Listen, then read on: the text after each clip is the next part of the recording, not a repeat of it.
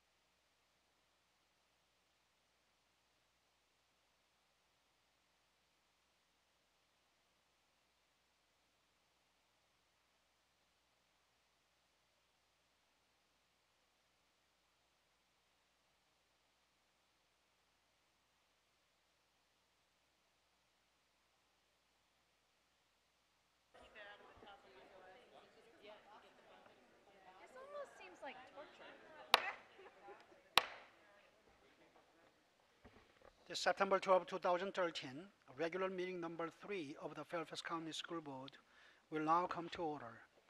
Please rise for the Pledge of Allegiance, a moment of silence, and the performance of the national anthem by Elizabeth Carlson, a junior at Marshall High School. I pledge allegiance To the flag of the United States of America and to the republic for which it stands, one nation, under God, indivisible, with liberty and justice for all.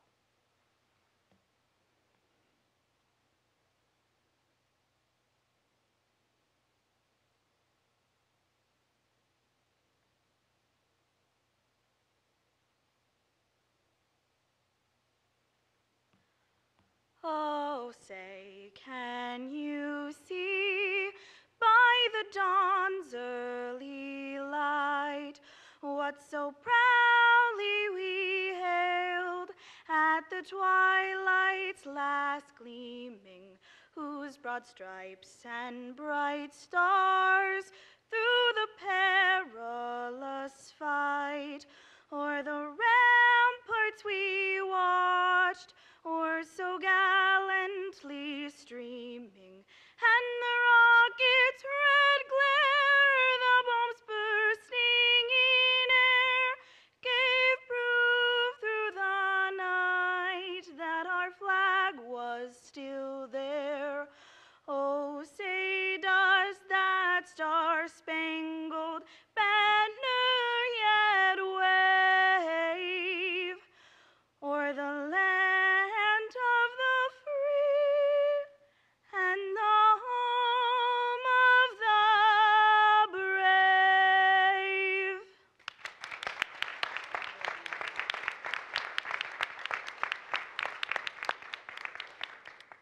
was a wonderful performance by a Elizabeth Carlson, a junior at Marshall High School. Thank you, Elizabeth.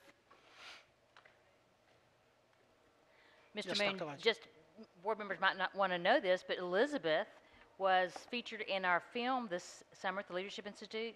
Remember the, I hope she superintends? Oh, yes. That is Elizabeth. Beautiful And- job. We thank her for being here tonight. And she also sang national anthem at the summer graduation at Lake Braddock.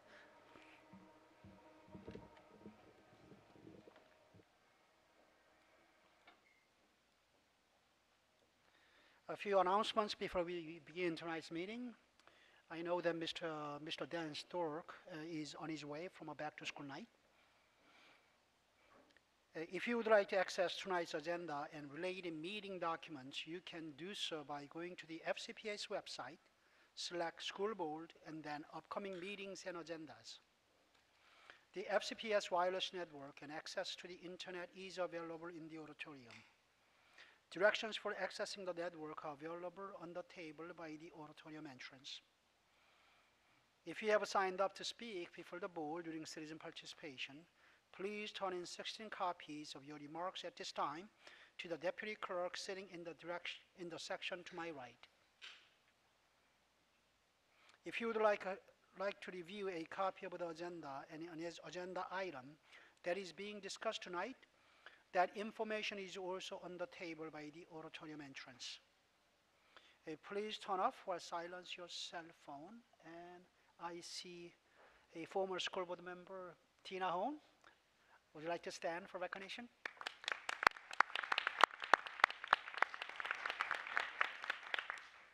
Let me call on Mr. Ash for announcements, if you have.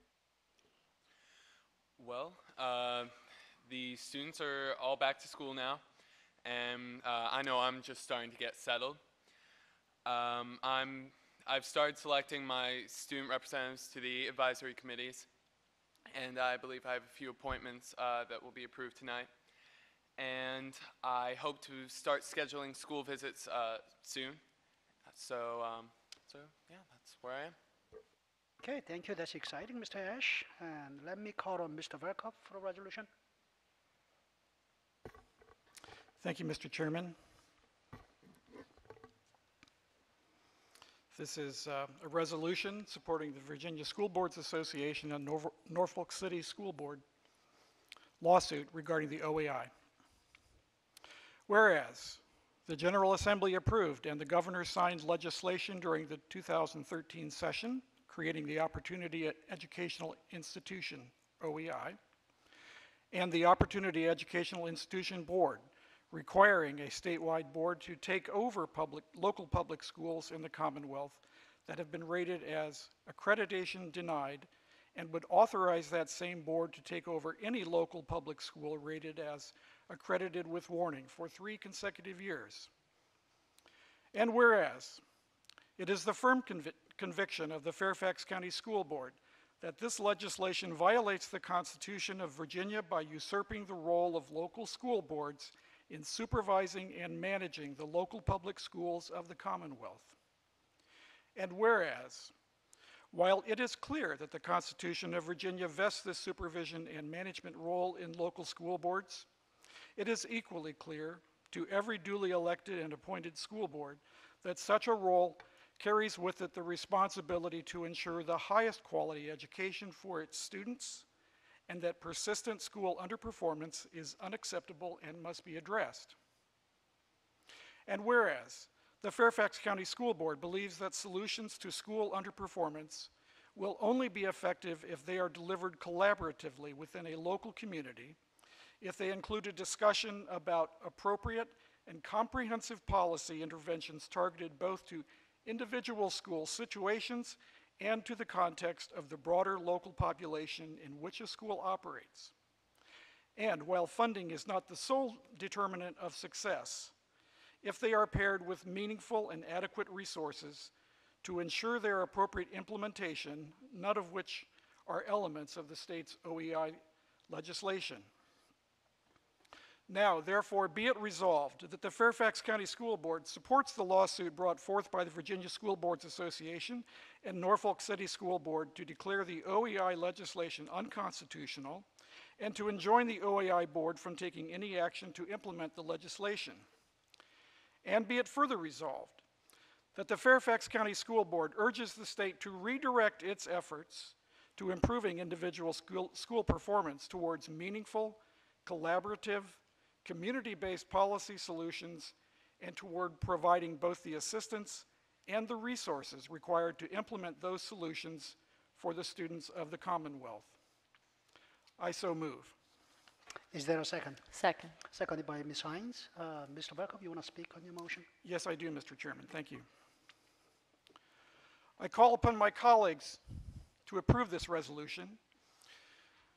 With our action, we will send Richmond a message that this board will not idly sit by when locally governed public schools are undermined.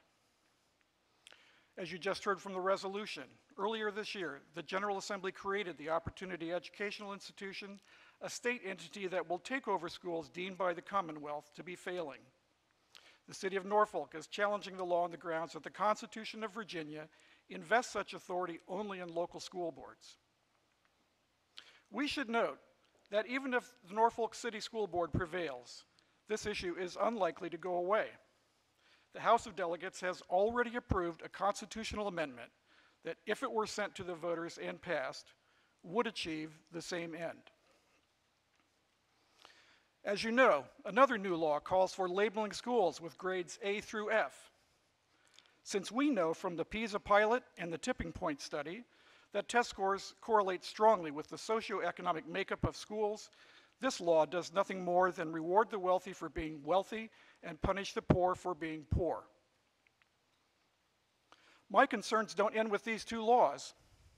Every year in the General Assembly, we see bills introduced that foster charter schools, promote school choice, and grant tuition vouchers. Such proposals will exacerbate, not ameliorate, the persistent achievement gaps that characterize the children who come into this world with the fewest resources and the greatest needs. I fear that the effect of such reforms will be a trifurcated school system private schools for the elites, good public schools for the highly motivated, and severely challenged public schools for everyone else. I hope that is not the legacy we bequeath to our children.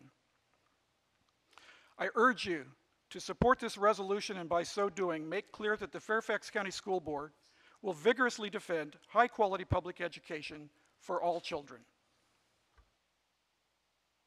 Thank you, Mr. Velkoff. Ms. Hynes, on your second. Just briefly, I think Mr. Velkoff did an excellent job. Thank you. Um, um, I would just say that if you followed education policy, you know that this is a reform initiative, a reform quote unquote effort that has uh, been tried elsewhere and failed elsewhere. It doesn't work because local control is extremely important, is necessary for good public schools. Um, attacks on local control of public schools are attacks on public schools. Fortunately, in Virginia, the Constitution of Virginia protects us. And so I think it's very important that we join the VSBA and other school districts who are um, opposing this legislation. I have uh, Mr. McElveen to be followed by Ms. Uh, Ms. Schultz. Thank you, Mr. Chairman. Supporting the Opportunity Education Institution is like coming down with a disease, blaming your doctor for it, and then switching to a new doctor before your current doctor has had a chance to treat it.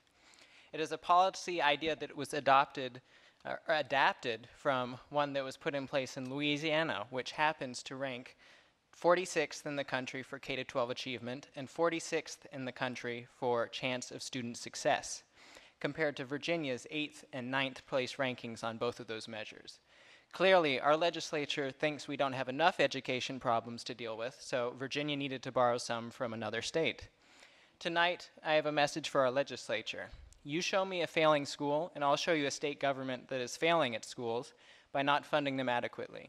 You show me a school that needs intervention, and I'll show you a state that has intervened in our local school districts so much that our teachers are throwing up their hands and saying they've had enough. You give me one example of a group of people that could possibly know more about governing Fairfax County Public Schools than this school board, and I'll show you an example of state government that has disregarded the views of local school boards quite a few times this past year and over the past decade. You, Virginia legislature, have overstepped your constitutional authority, and your lar- largest county, Fairfax County, is sending you a message tonight. Turn this ship around, or we're prepared to help sink it. Next, Ms. Ms. Schultz. I never thought I heard the night where Mr. McElveen and Mr. Cuccinelli agreed. Um, This is a little bit more um, of a complex issue um, than, than maybe some of my colleagues are speaking on. Um, It is a complex educational policy issue. And I am a little bit disappointed that our colleagues, our elected um, fellow colleagues in the General Assembly did not do more to consult with school boards um, around the Commonwealth. Uh, This is a conflict because uh, when the General Assembly passes a law and the governor approves the law, it is assumed to be uh, a lawful um, endeavor. However, the Attorney General has already said that um, he feels that there's, that this is a problematic issue, and that this may in fact be unconstitutional. So we're put into between a rock and a hard place as elected school board officials. We're constitutional officers under the Virginia Constitution. And the General Assembly has entrusted with us through existing laws and invested the authority through the Virginia Constitution for us to run the schools in our district. And I would imagine that if our constituents felt that we were not doing a good job, they would take care of that on election day. I wish that more people would pay attention to it so that um, your, your views are represented as parents, as property owners, as taxpayers. But this is a very serious issue when you get the General Assembly saying that they're going to decide when schools are going to be run constitutionally by the officers who've been elected to represent the constituents in their district and when they're not. Now, there is an underlying problem here in that not all school divisions across the Commonwealth have as successful a school system as do we enjoy here in Fairfax County. We don't have typically what are called failing schools. And there are schools that fail. Um, Mr. McElveen brought up, you know, show me a failing school and I'll show you a school that's failed.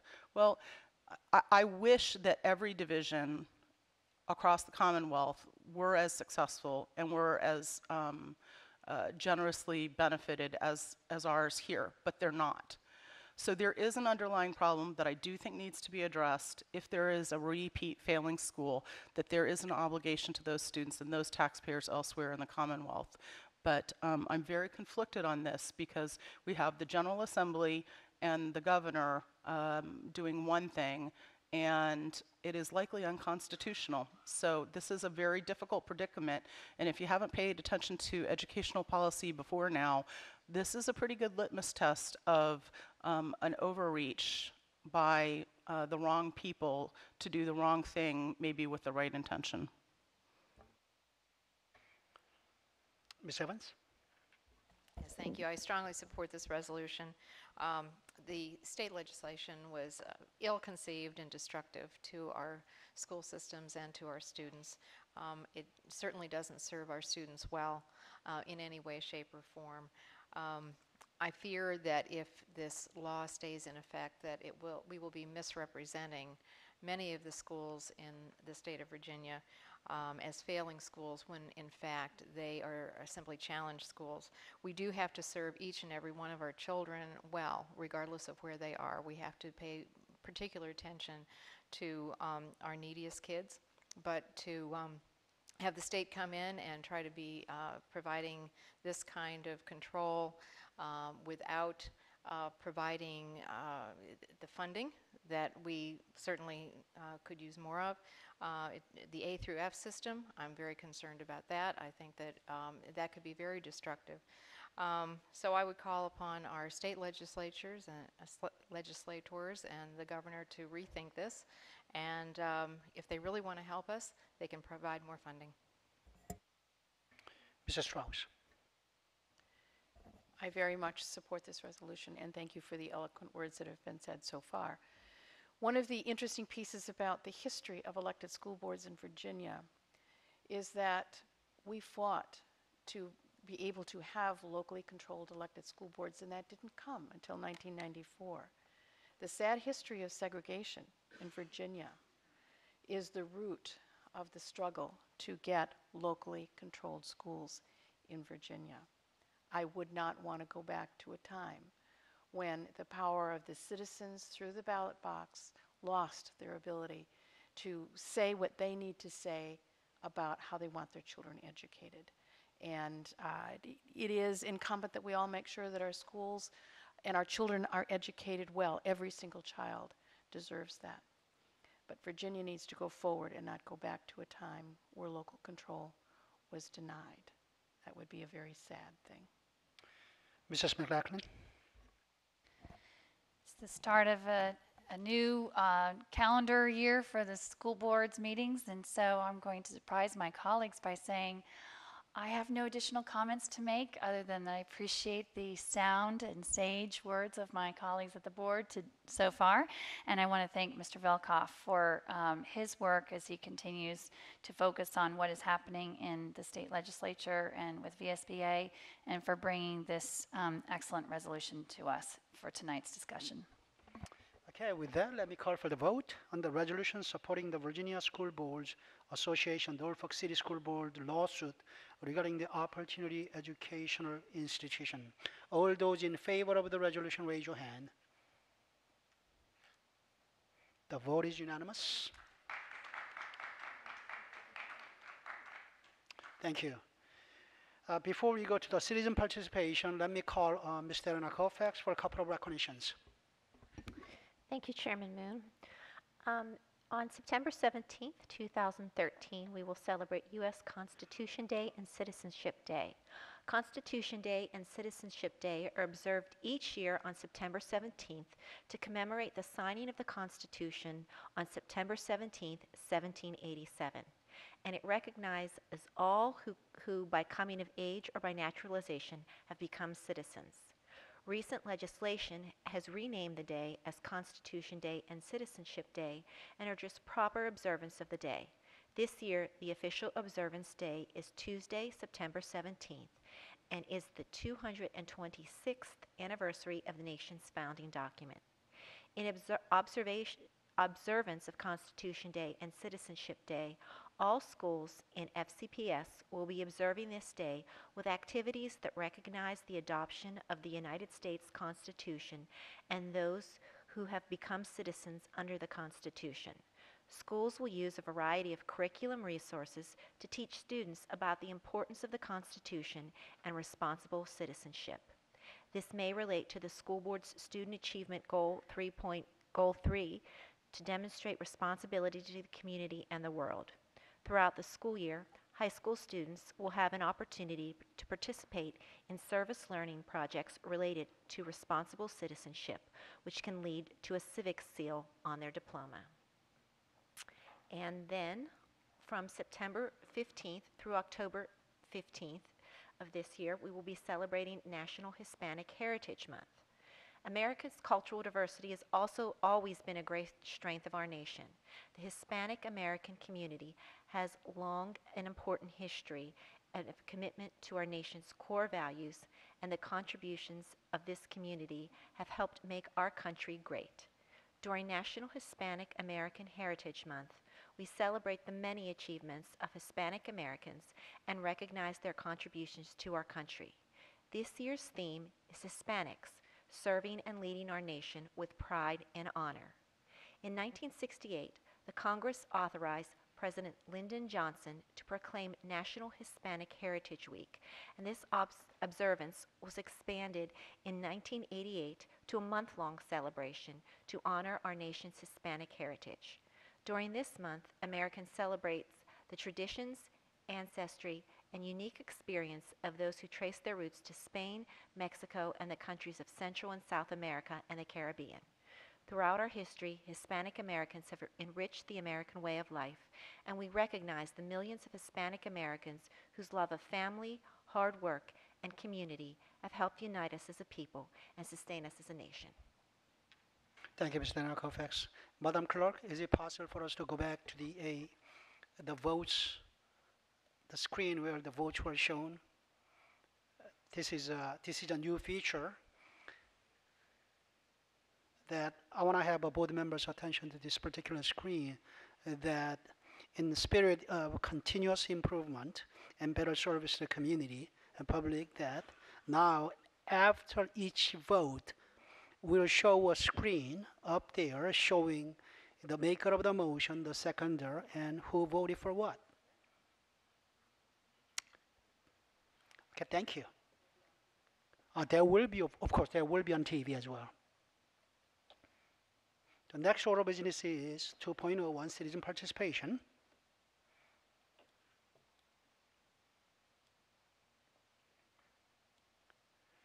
Fairfax County citizens who would like to address the school board should arrange to be placed on the speakers list by signing up online at www.fcps.edu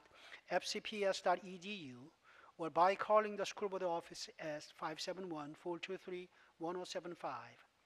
If the concern is a group concern, please consider appointing a spokesperson, and while the spokesperson is speaking, those in support may stand to show their support. The school board will not hear statements involving issues that have been scheduled for public hearings, such as capital improvement program, budget, and boundaries, or personal attacks on any person. Complaints regarding individual students or school-based employees should not be raised at public meetings. Any such concerns should be directed to the appropriate school principal or other school officials. Citizens are encouraged to write the board on any school-related topic. Speakers are requested to limit their remarks to not more than three minutes. and provide at least 16 copies of their presentation for distribution to the board. Tonight, 10 citizens have signed up to address the board. Louis Epstein, Susan Marie, Mary Jo Clark, Kevin Gatesman, Sharmista Arabelli, Grace Becker, Beverly Schranko, Martina Hone, uh, Thuy Nguyen, and Rebecca Golden. We'll now view video testimony submitted by one citizen, Elliot Simon.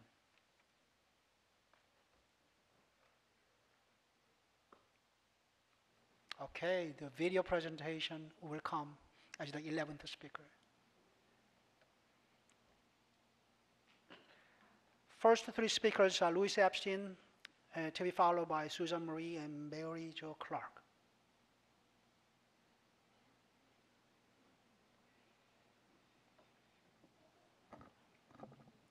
Good evening. I'm James Bradbury. I'm speaking for Louise Epstein, or in place of Louise Epstein. I'm a 2012 graduate of Thomas Jefferson, and I start my sophomore year of college in a week, so I'm not uh, missing school to be here. I'm here because I know how special TJ is, and I care deeply about ensuring that this amazing institution can continue to provide the exceptional educational environment that I saw firsthand. I'm concerned that the problems that TJ math teachers identified over a year ago when they wrote that a third of the freshman class had been recommended for remediation in math or science aren't going away. Instead, they're becoming the new normal. TJ has and will continue to adapt by diverting resources to remediation and tutoring, but only at the expense of the school's core mission. Couched in the language of Policy 3355, the basic problem is as follows. The current TJ admissions process does not accurately assess students' quote ability to meet the rigors of a demanding curriculum because the quote high mi- specific minimum standards do not capture what should be the foundational prerequisite for TJ admissions demonstration of TJ level aptitude for mathematics either because the test is not rigorous enough because standards are not high enough or because the test is not given enough weight beyond the semifinal round and most likely due to some combination of these problems this prerequisite is not being met by a large fraction of admitted freshmen. This problem touches on two questions which are more political. The first is how STEM focused TJ should be. Some connect this question to the admissions crisis by arguing that because the TJ admissions process includes a verbal test and several written components, the process is currently skewed too much towards measurement of verbal skills. But the essays that TJ applicants write aren't scored for writing quality at all. And it's not verbal skills that the admissions process currently overemphasizes, it's passion for STEM as imperfectly conveyed in a timed essay written by a 14 year old. The second political question is why TJ's student body so poorly represents the diverse student population of this county. But as the admissions committee and others have made clear, this is a problem that is present throughout the entire pipeline, and no change in the TJ admissions process can bring about significant progress on its own. It may in fact be that a well-intentioned change to the admissions process to emphasize passion over aptitude in order to find students interested in STEM who weren't reached by current AAP GTP programs has contributed to the present admissions crisis without actually improving the diversity of the admit class. These are important debates, but the board should maintain a sharp focus on the specific problems that TJ currently faces and the specific things it can do to solve them. The TJ admissions math test should be modified to be more rigorous, possibly with a supplement for applicants who have completed Algebra 1 that tests concepts and material from that class. As a prerequisite for admission, students should be required to perform on this test at a level that demonstrates that they are ready for TJ math classes, a standard of TJ level aptitude that is more concrete and targetable than excellent or exceptional quantitative skills. From among the group of students who meet this standard, the admissions committee should then select a freshman class using an intelligent, holistic evaluation system redesigned to once again give applicants the opportunity to demonstrate rather than merely claim their interest in STEM. Thank you. That was a perfect timing, Mr. Bradbury. The next speaker is Susan Marie, to be followed by Mary Jo Clark and Kevin Gatesman. Good evening, uh, members of the school board, Dr. Garza, Mr. Chairman. Thank you for the opportunity to speak tonight. I'm a member of FCAG, Fairfax County Association for the Gifted, and also a concerned citizen. Year after year, we parents hear that uh, students that are exceptionally qualified for TJ are not getting in. And we also hear the teachers' concerns that they expressed in the April 2012 letter about the excessive remediation in mathematics and STEM courses that's going on in TJ. And these and other problems are raised not only by the teachers, but also by school administrators, parents, TJ alum, and TJ students alike. Voting in favor of the proposed changes to Policy 3355 will provide a foundation for meaningful improvements to be made to help FCPS, one, stop rejecting strong STEM students, two, reduce the need for remediation at TJ, and three, meet the educational needs of students who genuinely need the curriculum and community that TJ provides. So how will the changes do that? First, the changes will help ensure that the students admitted to TJ are actually prepared for the TJ STEM-focused curriculum. The teachers have analyzed the root causes and attribute the causes to the current problems mainly to the low standards of the math test and admissions and also to inappropriate weights put on the admission process components. Students are admitted to TJ who don't have the chops to be there. That's what the teachers are saying. Second, the phrase exceptional quantitative skill, as skills that's proposed is broad enough to include all students with the critical thinking and analytical problem solving skills that are needed at TJ.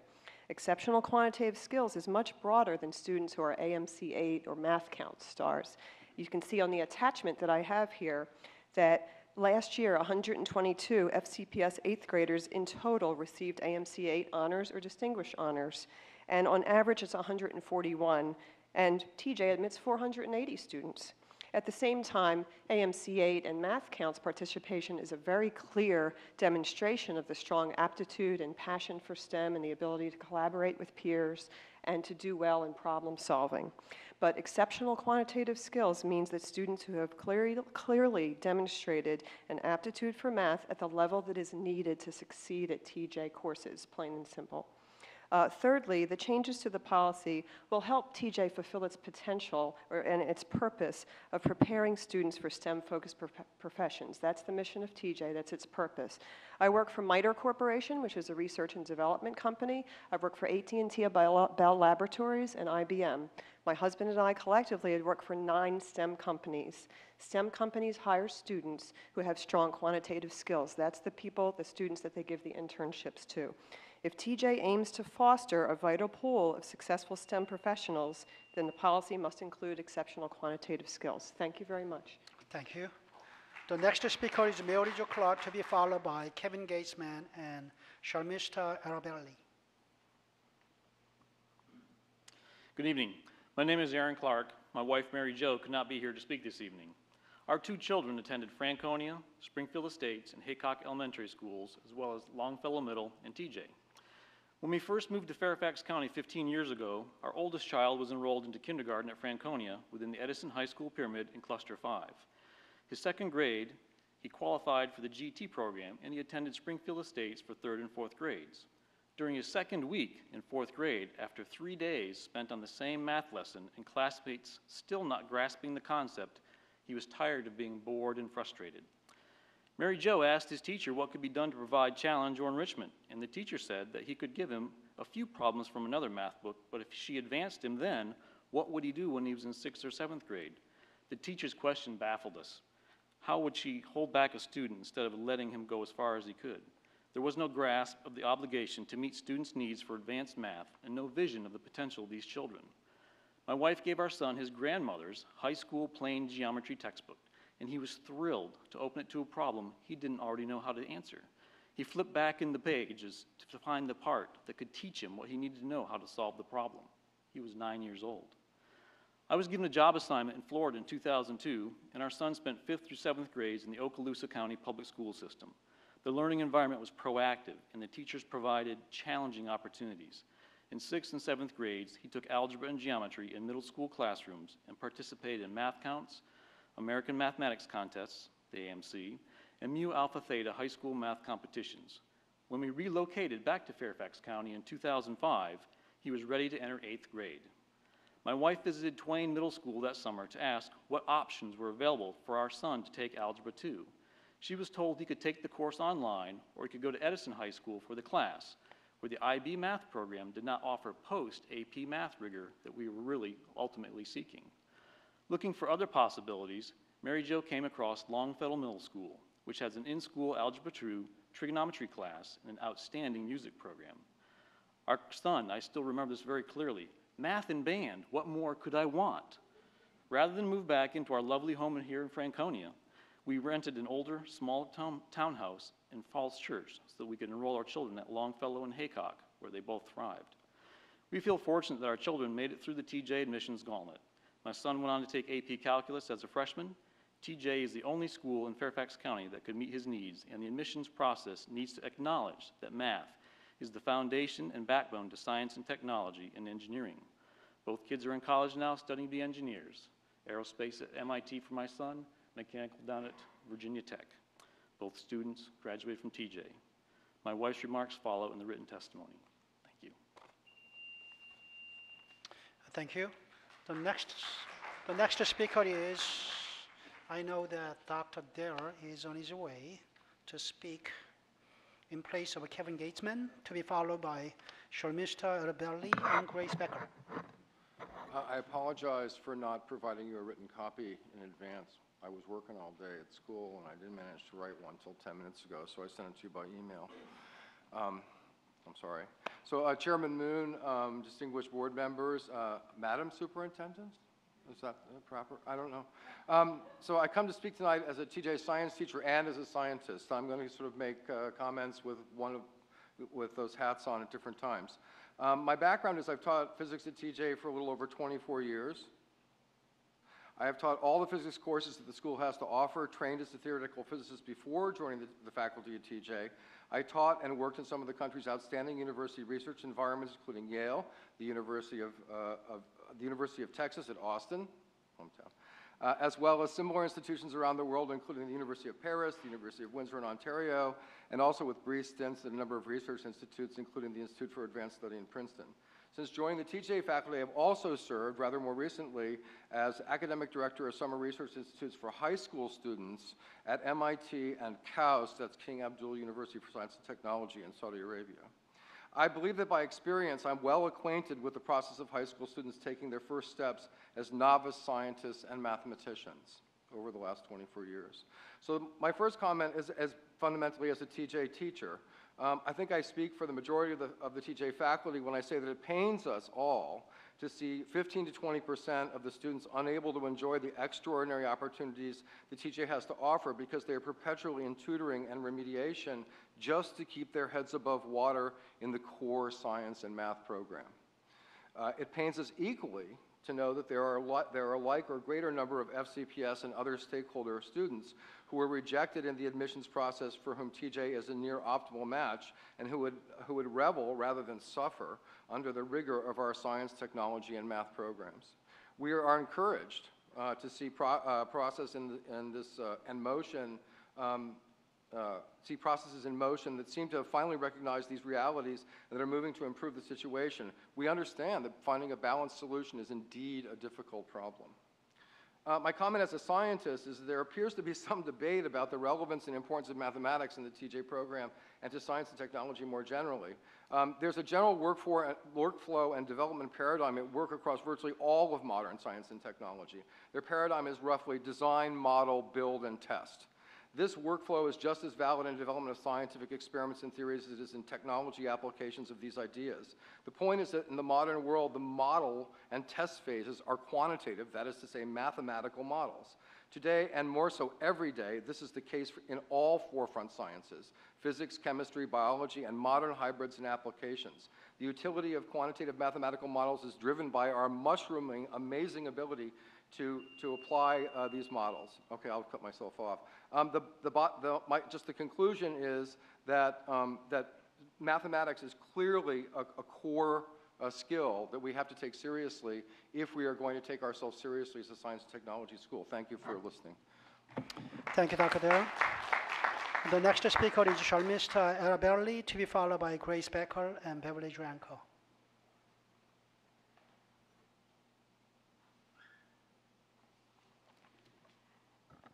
Good evening, school board members and distinguished superintendent. Um, I'm here to share the experience of our daughter, Saroja. She's a junior at TJ, but spent her freshman year at Langley High. At Longfellow Middle School, Saroja enjoyed spending extra time solving competition math problems. She was disappointed when she was not admitted to TJ. Langley is a great high school, but it wasn't a good fit for Saroja. She was given an exception to take AP Calculus and AP Computer Science in her freshman year.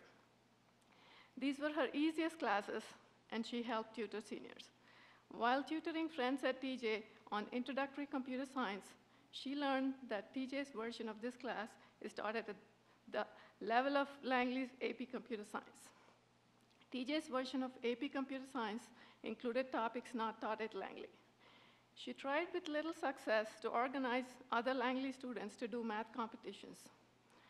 When she signed up for her 10th grade classes, she asked special permission to take honors physics, a course generally offered to uh, only juniors.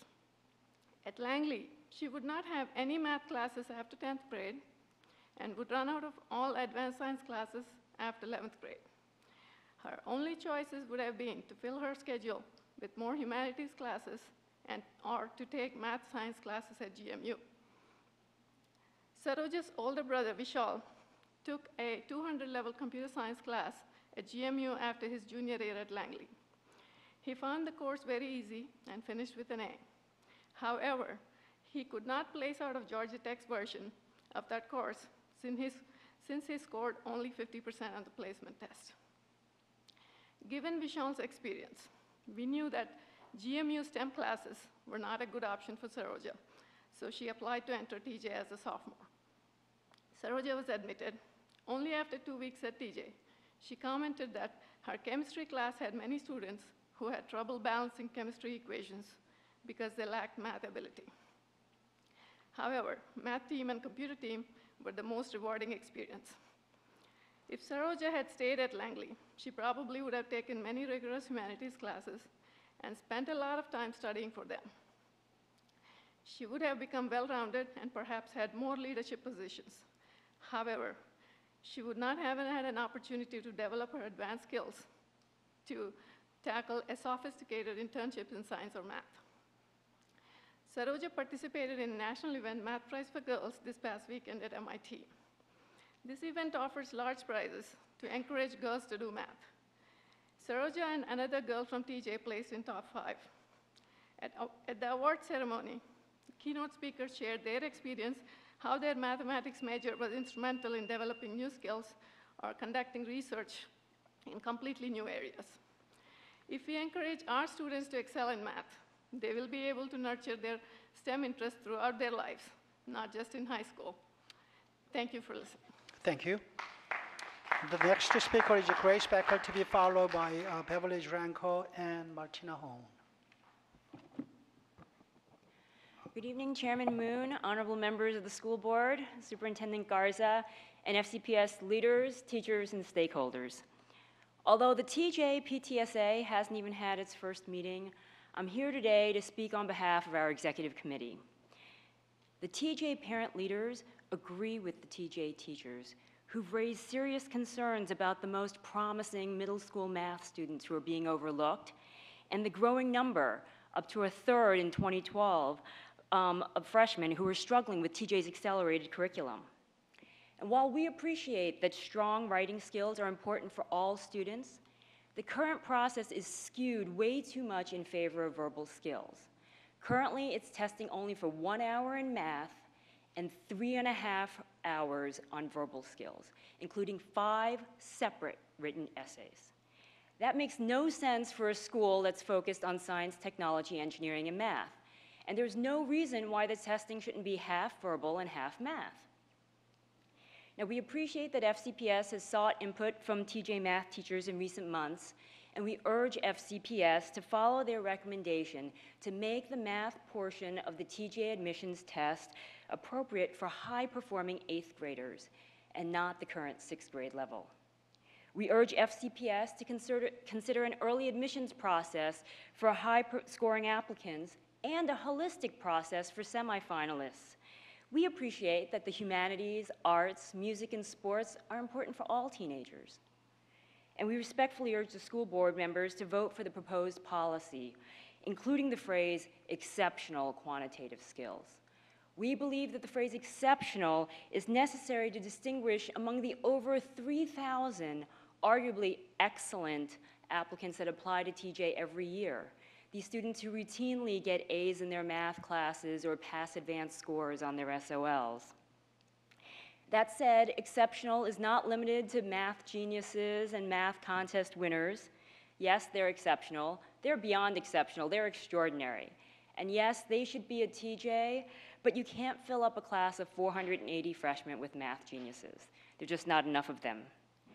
And while more than half of TJ students are non-white, we appreciate that and encourage all students to take advantage of TJ. To do so, schools and parents must begin in elementary school. The TJ community is committed to mentoring young students as I've described in my prepared remarks. Thank you so much. The next speaker is Beverly Duranco to be followed by Martina Hone and Thuy Nguyen.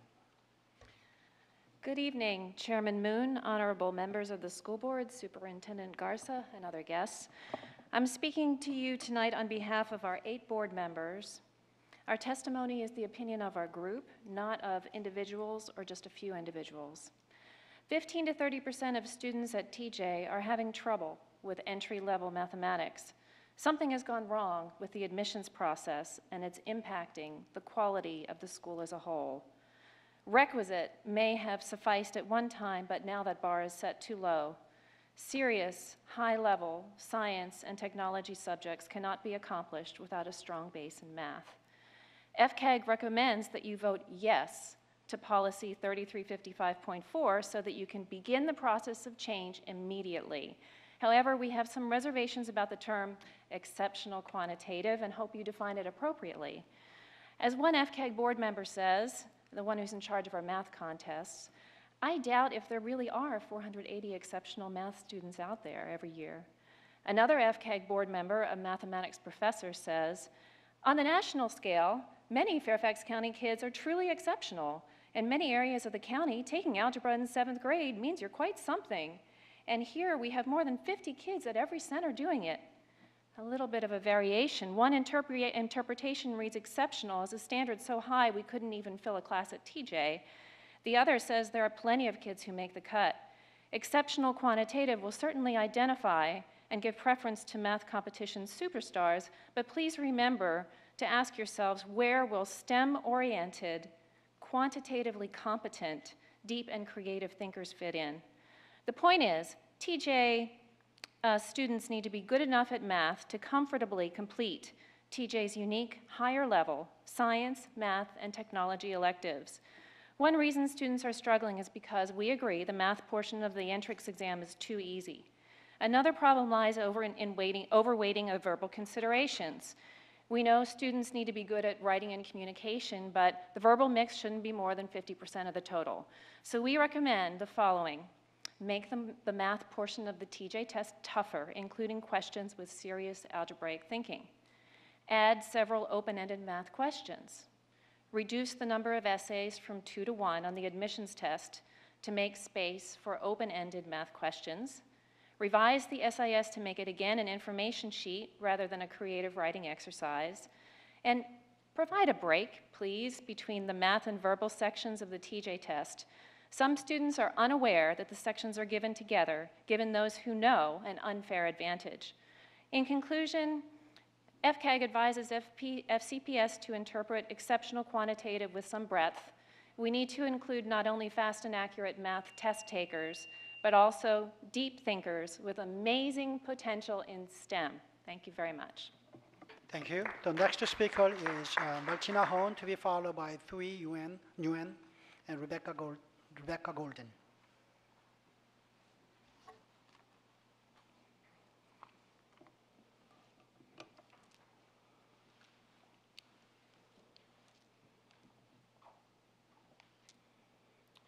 School board members, Superintendent Garza, staff, we represent the Coalition of the Silence. Tonight is our first opportunity to publicly welcome Dr. Garza to your new role and to extend our support to you. When you were selected, we were extremely optimistic and hopeful, and we continue to be. Tonight, though, we must talk about a pressing issue that preceded you. As you know, the Coalition of the Silence successfully filed a federal civil rights complaint with the U.S. Department of Education against FCPS over the persisting pattern of exclusion of Black and Latino children from TJ and from the network of Level 4 GT centers that feed into it. We stand firmly and unapologetically behind our complaint. We have intentionally been laying low since filing it as the federal investigation moves forward.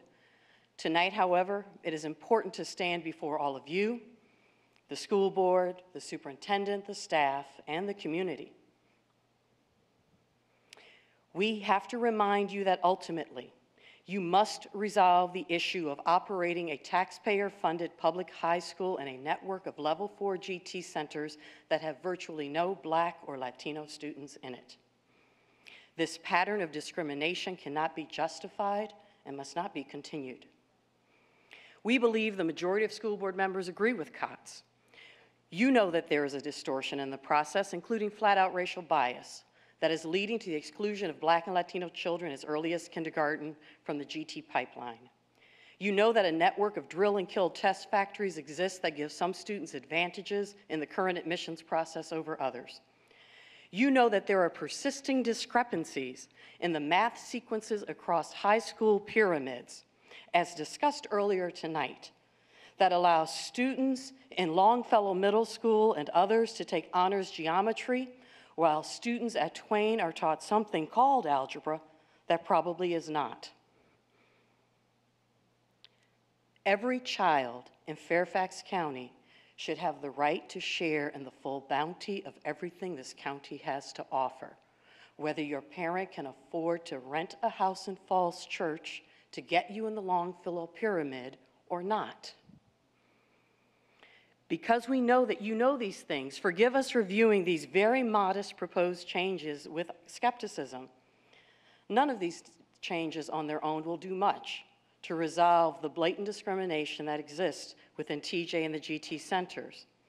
Nevertheless, the tone of the proposed changes reflect a shift to a more nuanced, holistic approach that will allow FCPS to identify highly qualified and meritorious students with solid math skills, but more importantly, who have a demonstrable passion for science and technology and visionary creativity that will allow them to change the world. In a genuinely unbiased and holistic, a genuinely unbiased and holistic merit-based admission process, we believe will give COTS kids a better chance. We thank you for the modest steps which we support, but we remind you You've got a long way to go. Thank you. The next speaker is Thai Nguyen, to be followed by Rebecca Golden.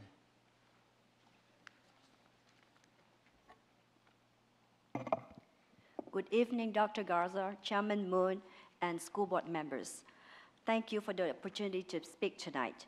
As a member of FCAG, I strongly believe that the students admitted to TJ should demonstrate exceptional quantitative math skills this will not only help them to be properly prepared for TJ's unique academic experience and rigor, but this will also ensure that they don't ruin their important teenage years by attending a high school where they're always struggling to tread water.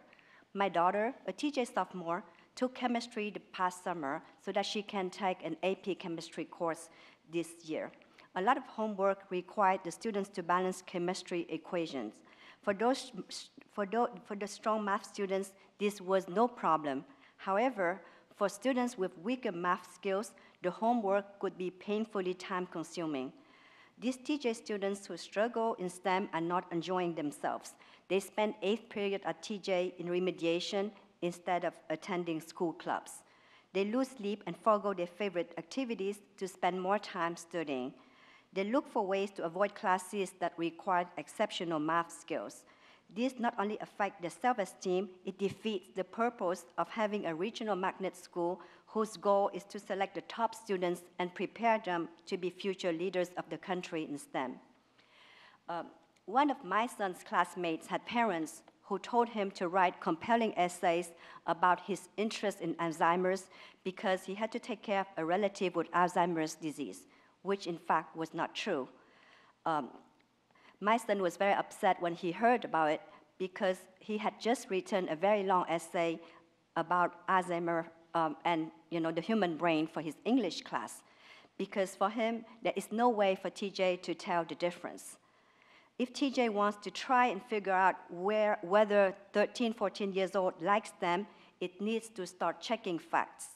Indicating that they have an interest or passion in STEM sounds good in theory. However, in practice, it can teach many uh, 12, 13 years, uh, 13, 14 years old to exaggerate and even lie on their TJ essays or student information sheet because they know that nobody checked to see whether they were telling the truth. If a student claims that they did science Olympiads, ask the sponsor if he showed up for more than one practice.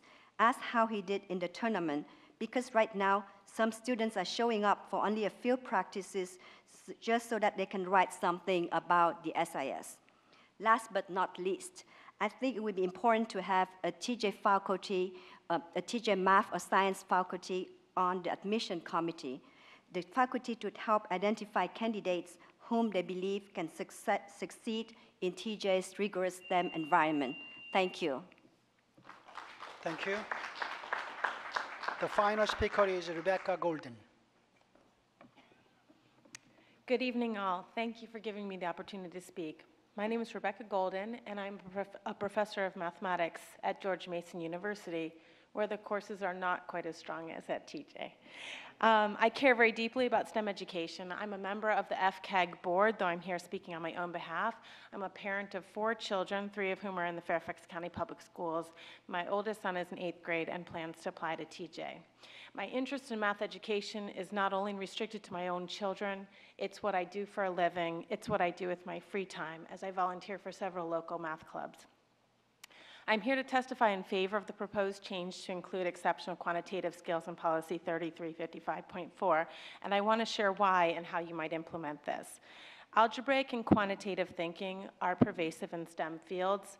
They're used to predict chemical reactions, describe Newtonian physics, assess genetic factors in biology. STEM students need facility in mathematics with very rare exception. So why support exceptional quantitative skills as opposed to requisite skills? I'm influenced greatly by teachers at TJ who note the large number of kids unprepared for the rigor at TJ. Meanwhile, middle school teachers are surprised that some of their top students don't get in while lesser qualified students do. It may be the recommendations undervalued, but poorly designed math tests also play a role. The math section of the TJ admission tests, test fails to differentiate students um, who deeply understand the math from those who don't. And you see top scores clustering together, which makes it very difficult to tell who really knows what they're doing. Decisions about admissions consequently depend highly on essays and student information sheets, in which kids may or may not present well their fit with TJ we're missing a lot of talent while admitting students who excel but are not best suited for handling TJ's advanced math and uh, advanced pace and intellectual standard. Equity is not served either, as mediocre kids trained to write enthusiastic essays are let in over exceptional kids with less savvy parents. I suggest changes that are sensible from an educator's point of view. The math test should include algebraic reasoning and overall be more challenging. It needs to test mathematical and logical reasoning about unexpected mathematical situations. Open-ended questions involving several logical steps written by teachers will allow us to see how well students understand the math they're writing about. Teachers should be asked on recommendation forums to evaluate the mathematical and scientific thinking of the students as well as their passion for these subjects. The math test and these recommendations should be valued highly by the admissions committee. A holistic approach may allow admissions committee members to weigh heavily special accomplishments or traits or evaluate students relative to their peers, noting that kids at middle schools with more opportunities for clubs and activities should not have an advantage over kids with few opportunities. But in all case, mathematical standards need to rise and truly extraordinary children need to be accepted. Thank you very much. Thank you.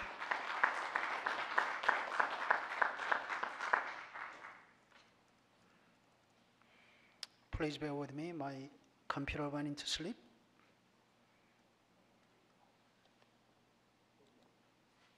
Uh, there's uh, one speaker. here through Hello, video. my name is Elliot Simon, and I am making this video for the proposed.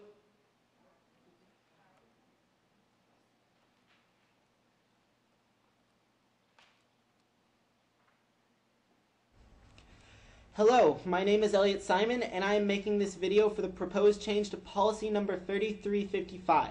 I am a sophomore math major at the California Institute of Technology. I was a member of the class of 2012 at Thomas Jefferson and attended Carl Sandburg Middle School before that. A lot of people look at mathematics and they can't imagine any scenario where they've used what they've learned in algebra or calculus. The fact of the matter is that almost no one will spend their lives working textbook problems and worksheets. However, the problem with this view is that TJ has always prided itself on giving its students a broad education. Consider, for example, the science curriculum. Every student takes at least one class in biology, chemistry, physics, and geosystems. This approach not only exposes students to areas they otherwise may not have explored, but also has the benefit of giving graduates a very large advantage over other national students at the collegiate level. Why should we ignore math when we give such emphasis on the sciences? Many people would say that math skills have no practical use in science or in any other profession. This view is incredibly short sighted in nature. Physics, for example, is at its core applied math. People describe math as reading some words and answering the question with a number, but physics is exactly the same process with meanings attached. Calculating energy, predicting where a thrown ball will land, understanding electricity is all derived from the first principles of calculus, not physics. Without a knowledge of math and a strong understanding of what processes and calculations are being performed, physics is impossible. Kinetic chemistry, likewise, is extremely dependent on an understanding of differential equations. Population biology is directly based off of statistics. Every electronic device that you use, including the camera that I'm taking this video on, is runs because of complex analysis. Every subject taught at school, in TJ or anywhere else, is at its core applied math, and without an understanding of math, you cannot excel at any other subject. In recent years, there have been many changes to the admissions policies at Thomas Jefferson. From conversations with numerous teachers and my own first-hand experience, the newest classes at TJ have had greater difficulties with the math classes offered. These difficulties not only prevent them from excelling in the math curriculum, but every other class as well. I believe that the key to maintaining TJ's exceptional achievement levels starts with a strong math education, but the current admission standards are not strict enough. TJ needs stronger math standards that will choose the students that will excel and be the mark of the nation's top high school once again. This is why I support the proposed change to Policy 3355. Thank you for your time and consideration.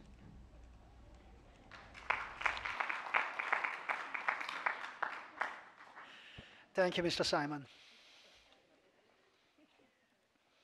The next order of business is 2013 and 2014 opening of a schools report. Dr. Garza.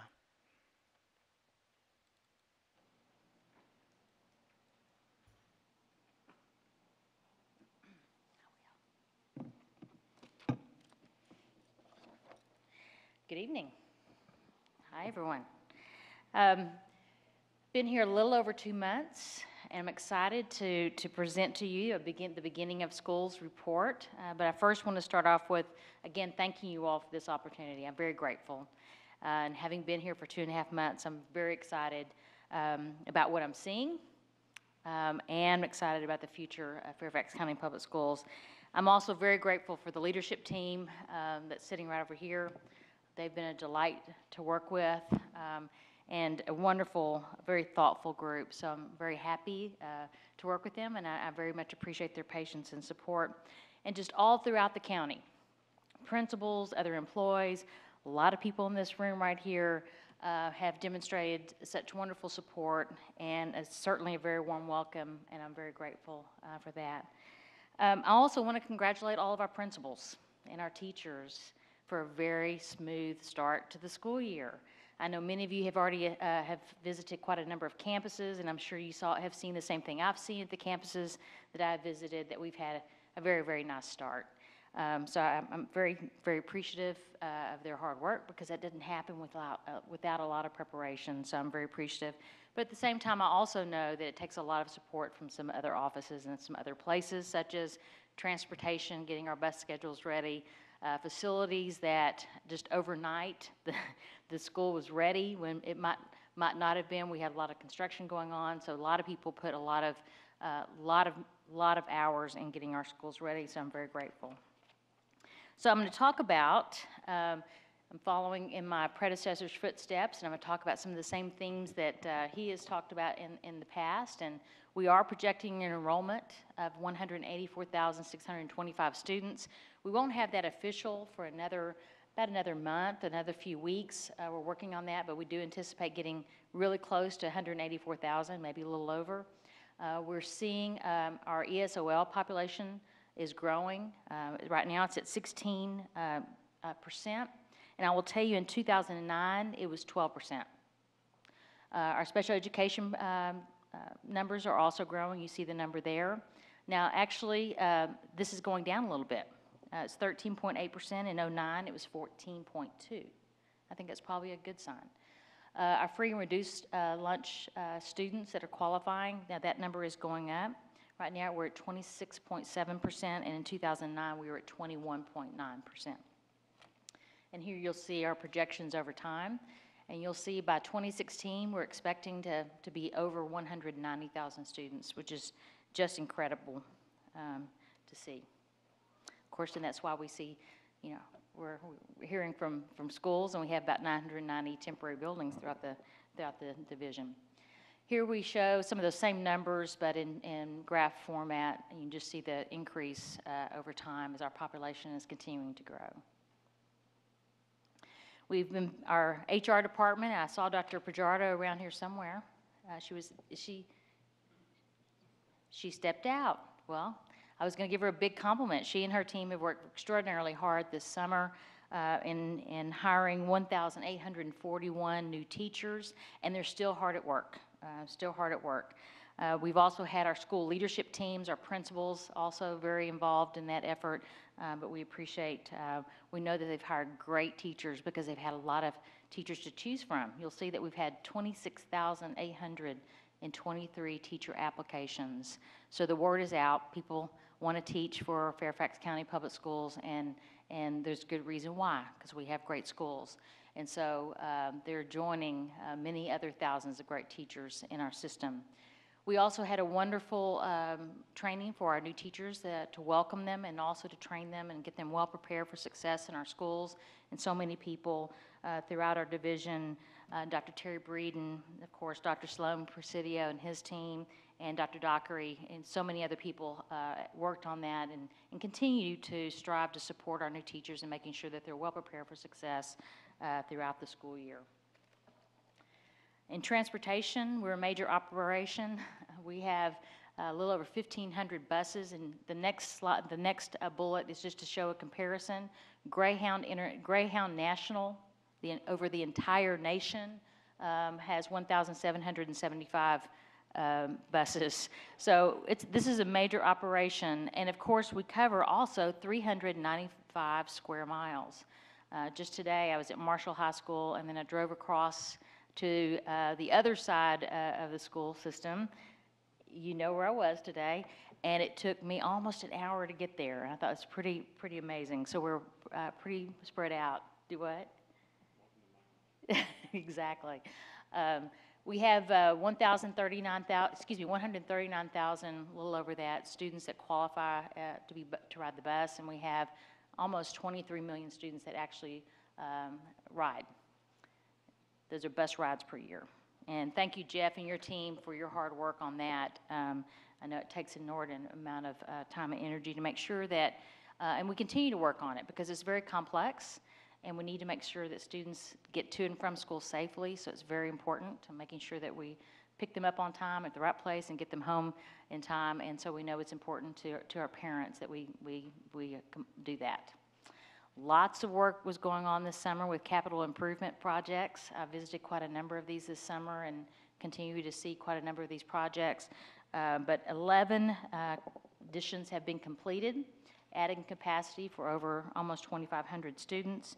Lemon Road Elementary School was finished, Union Mill uh, Elementary, Greenbrier East Elementary, Quest, uh, excuse me, Crestwood Elementary, Lynbrook, Kings Park, Cunningham uh, Park, Spring Hill, West Springfield, Woodley Hills Elementary, and then finally Springfield Estates Elementary School. So a lot of work uh, was completed, and a lot. And, you know, I've visited some of these schools, and they're so excited to have their completed school because it takes a lot to go through a renovation, uh, as we'll see here in just a little bit. Um, we have some renovations that are underway. Um, at Clermont Elementary School, um, Terra Centre uh, Elementary will be starting relatively soon, Canterbury Woods Elementary School, and then Garfield Elementary School. And then we'll have another eight uh, schools coming, starting the process this year. Um, um, we also have uh, Sandburg Middle School uh, that's in the middle of renovation right now. Um, and we have several, uh, we have Thoreau Middle School that's getting ready to start. Um, so I know they're excited about it. Then we have Marshall High School that's currently in, under renovation. For those of you that were at the uh, ribbon cutting this morning, there's a huge hole in the side of the building. uh, so you can see that it's under, under renovation, most definitely. I think it's very obvious. But what's nice is as you enter the building, there's certain portions that are completed. Um, so I know the school's very excited about seeing some of that progress happening. And then Langley is about to start. Langley, I know they're excited and seeing the design work and then getting ready to start with their renovation. And then I've attended and, and visited uh, Thomas Jefferson this summer, and in fact, I saw Will holding court there uh, when I was there visiting, touring. Saw him twice, uh, visiting with students, um, and uh, they're most definitely under renovation. Um, no doubt about it. And it's a complex project. This will add, the, the renovation here will add over 200,000 square feet to the facility. Uh, it's expected to be completed and I think, September of 17. Isn't that right? It says here September of 16, but I think it's really 17. 17. Uh, but it is a major project um, that is, is underway. I know this looks very familiar to some of you. Um, I want to compliment Megan McLaughlin and her work on this committee. Um, 13 turf fields have been put in at five, five schools. Also, again, um, Jeff and his team work extraordinarily hard to get these ready. Some of them just ready right in the nick of time for football games and, and for fall sports. So, uh, great work there. But it was really a collaborative effort uh, by this board, uh, the school booster clubs all throughout this county, the Board of Supervisors, the Park Authority, uh, neighborhood and community services, and local sports uh, organizations, and our parents. Our parents contributed a lot of dollars to making sure that they were able to, to accomplish that for our students. Just some fast facts. Uh, we serve almost 85,000 meals um, every day. That's extraordinary. Uh, we have students uh, attending our schools from more than 200 countries and speak more than 160 languages. Um, I think that's such a strength um, to have such a diverse uh, student population. Um, our world is changing. We had students uh, that uh, we, our students read about 2.2 million books per year online through digital formats, um, and then read about 5.4 million uh, books per year, print books. And then we had a number of schools uh, that were selected uh, for Eco Schools USA Green Flag Award. That's Churchill Road Elementary School, Centreville Elementary School, and Lanier Middle School. We have a lot of things to celebrate. We do have some challenges ahead. I'm going to touch on just a few of these. Our achievement gaps, which we're all very concerned about and something that we're all focused on. Our budget growth, our cost per pupil, and our, our teacher salaries. And I'll touch on all, all of these. Um, as you know, we've experienced some changing in our state assessment program, and as a result of that, we're kind of recalibrating, and this is throughout the entire uh, state. But you'll see there the difference uh, that occurred in mathematics in 2012 with the new assessment. Uh, and that's why you see scores, the rigor was dramatically increased. Um, as a result, um, unfortunately, our gap increased. Now, this happens oftentimes with new assessments, but that's a challenge that we have to take on, um, and that is uh, mitigating the achievement gaps, but improving all performance of all students uh, at the same time. And that is a lot, lot of work going on to, to address those uh, very, very important issues. I'm only going to touch on the achievement gaps, but in the coming months, there is a scheduled annual performance report uh, that will be presented to you all that will go in depth in all of the content areas, and you'll be able to see um, how our students are faring in all of the content areas. In, in reading, uh, you'll see there that, that the reading standards were changed just this past year, just uh, this past spring, and you'll see the same same trend line uh, occurred with our reading assessments as well. Um, with our um, math assessments, we have about a 26 percentage point gap that we need to address, and in math, excuse me, and in reading, we have about a 24 uh, percentage uh, point gap, and we're working very hard to to identify strategies, very meaningful and strategic strategies to to address all of those issues. On our budget challenges, um, we're spending a lot of time on, on these issues, uh, making sure that we're well prepared for fiscal development of the fiscal year 15 budget. Uh, we know that we've experienced, uh, and by the way, you'll see receive a comprehensive fiscal forecast report on Monday, September the 23rd, so you'll get a lot more detail about some of these things that I will be touching on. Um, first one, the health insurance employer. Um, you know, we had a big increase in our health insurance uh, for this coming year at $27 million. Um, of course, we had the VRS rate increase, uh, employee compensation, uh, our starting salaries at $45,000 just about, which is below Arlington, Alexandria, Montgomery County, and Loudoun County. And that's a challenge that we've, we, I know, um, all uh, take on and, and, want to do something about. Um, the county, um, we are projecting a 2% increase in the transfer, which is, equates to about $34.3 million. Um, that, that helps, but far is far insufficient uh, to meet our needs. Um, the uh, state local composite index, and that is based upon our LCI projections, is will reduce our funding by about 21.3 million. Um, and then state per pupil funding rem remains below pre-recession levels. And I think this is very interesting. Um, this year, we're projected to spend $13,472 per student. In 2008, we spent $13,407. That's, that's amazing to me, given the cost of benefits and employees and, and what it costs to operate a school system and as fast growth as we are. That's only um, about 60 something dollar difference uh, from that many years moving forward. Uh, and our uh, colleagues in Montgomery County spend almost $15,000 uh, per student. We're a fast growth uh, school system. Uh, since 2009, student membership has increased by 15,087 students. It's a lot of students in just the, those few years, in just six years. Um, and you'll see there's some indications of our growth over time. Our cost per pupil uh, is kind of in the middle of the pack. Um, good news in that our performance is high. You know, our students, our teachers are doing a great job with the resources they have available to us, as well as our principals are as well. Um, but we're, we're kind of in the middle of the pack as it relates to the monies we have available to educate children.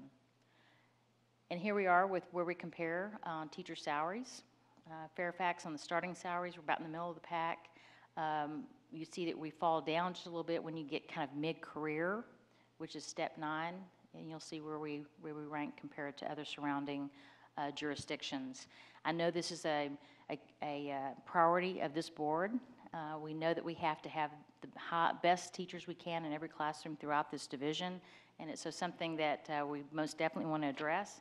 Uh, but we do know that we have some significant challenges related to budgets uh, moving forward as well. And then at the retreat, we talked about three major priorities for this year. Uh, of course, uh, the first one being strategic planning, and I'm very excited about that work. I get more and more excited about it as we start to talk more about the details and, and move this further along. Um, there's lots of other important work going on, so this is not just all we're doing, but uh, I think these are very important goals. The first being um, the uh, strategic planning on the student achievement goals, which are still very meaningful and important work that this board has developed some time back. Uh, this year we want to develop the portrait of a graduate, which we anticipate will provide the opportunity for the community become uh, engaged in the defining what we expect of our uh, graduates. What do we want our graduates to know and be able to do uh, when they leave high school? um, and use a backwards design model. So if this is what we expect of our graduates, um, then what can we expect of them at third grade or sixth grade? And tie that to our passages work. And so I'm excited about that. And of course, our, our achievement gaps, which we're working diligently uh, to respond to. The second piece of that was being responsive and accountable. As a large system, we have to protect against being unfriendly uh, as a system. So we've done a few things. We will continue to work on this. Uh, we've developed a new communication structure to ensure that we're following up and being responsive to our constituents. Uh, we have a parent mobile application that will, I think, be uh, very user-friendly and, and, a great tool for our parents. We will be launching that on September the 28th. I think so. Be stay tuned. I think parents will be very excited uh, about that. A lot of the key things that they need at their fingertips uh, will be on an app, free app. Uh, we've begun listening tours. I'll talk more about that in just a little bit. We'll be uh, engaged in those with board members um, throughout this fall and into the into the spring. Lots of advisory councils are, are underway. We've, already begun meeting um, with all uh, many different groups. User voice, which I don't know if you've looked at that lately. We have 14 pages of suggestions um, on the user voice, uh, which is on our front page of our website. For those of you that haven't been to that site yet, you can go on and give us your, your ideas, advice um, as we begin thinking about the future of Fairfax County Public Schools. Um, when I said we have 14 pages, you can also vote for any of the suggestions that are already posted. I came across a couple that had one that had 669 votes. Um, I had a, came across another that had 479. So, so people are, are really using it. Uh, so uh, I read again through, through all of the suggestions just yesterday, so I think you'll find those interesting. And then we're using a new tool called Set the Record Straight. Um, as there's lots of things going on in the system, and it's hard to cover all the nuances related to all the, all the important work. So to ensure that our, our constituents, our community has accurate information, we'll be using this tool all throughout the, the school year to make sure that all the facts about important work is available to our constituents and to our communities. So I hope that you find all of those steps in the right direction in terms of communicating and, and keeping our community informed um, throughout, throughout the year. Um, on new ways of measuring learning, um, this is a, a, national conversation. I'm, in, I'm excited to see that lots of surrounding jurisdictions are also beginning to get engaged around um, what ways can we better uh, measure teaching and learning beyond SOLs. Um, in fact, I, anticipate that you'll, at some point in the near future, consider uh, some a new resolution that's floating throughout the state around uh, imploring our legislature uh, to be, to think differently, not just to continue to tweak, but to really think differently and more forward thinking in the area of measuring learning. I think our strategic planning will help us also do that. Uh, as we identify the portrait of a graduate, maybe more portfolio-based assessments, writing for an example, electronic portfolios, measuring writing over time. I think there's a lot of exciting things that we can do there. We are engaged in the PISA pilot. I think that's exciting. We have an opportunity for all of our high schools to participate yes, uh, this year. A lot of valuable information. Our high school principals have found that to be a valuable resource and tool.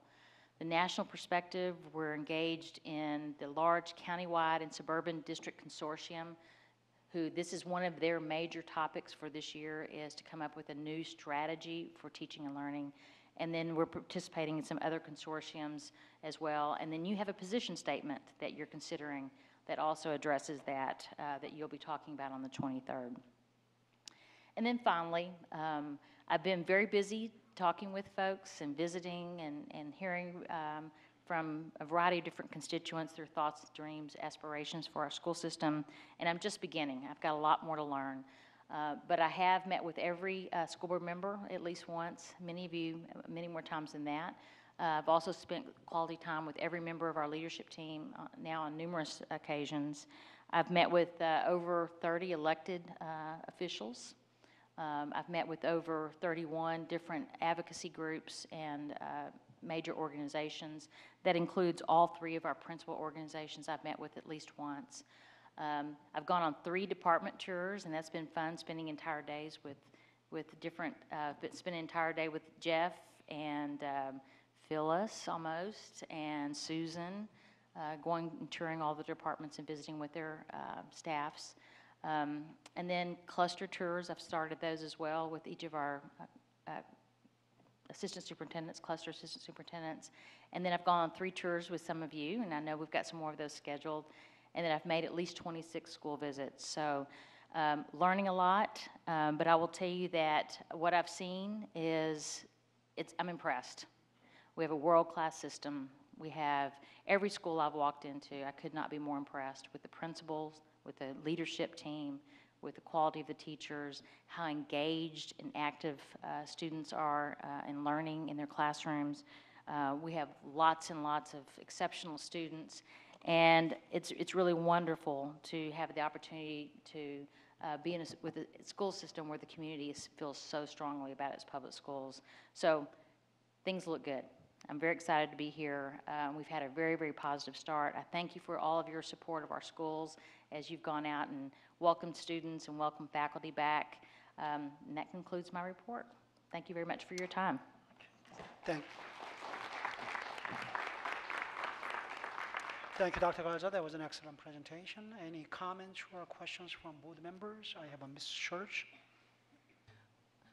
And I'm, I'm going to let you just make your way back, but um, there is one point that, uh, as the liaison to ACSD and very passionate about um, that uh, population of our students who are in that special education category, uh, that the achievement gap that we often talk about is often limited to um, a cultural or a racial or even a, um, a poverty-driven financial um, uh, gap.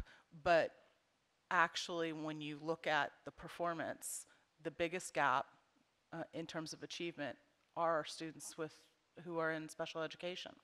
And it's often um, because of struggle to read, struggle to write, problems with dyslexia, problems with um, communication skills.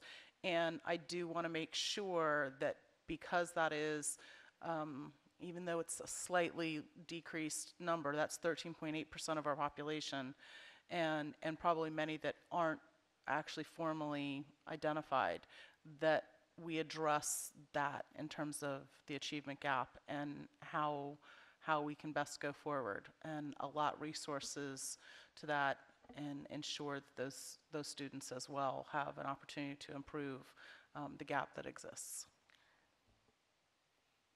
Mr. McElveen? Just a quick question. You alluded to the fact that all of our schools might have the opportunity to pr- uh, participate in PISA this year, the 26 high schools. Can you elaborate on that? Yes, we've, uh, we believe we have enough resource, and also, the you know, they're willing to, to help us a little bit in order for more of our schools to participate. Uh, We've talked with our high school principals, and they want to participate. There's very much an interest on their part. Uh, We have a different window, though. Uh, Last year, when it was done, the window was very difficult for our schools. This year, the window uh, that's been established for the, for the testing is much more conducive to our school calendars, so our high school principals are excited about that as well. Um, And we believe that we can really work on our sample sizes. Um, it- That was challenged by the fact that the timing of the testing last time. So we, we anticipate our sample sizes will also be uh, stronger. Mr. Becker?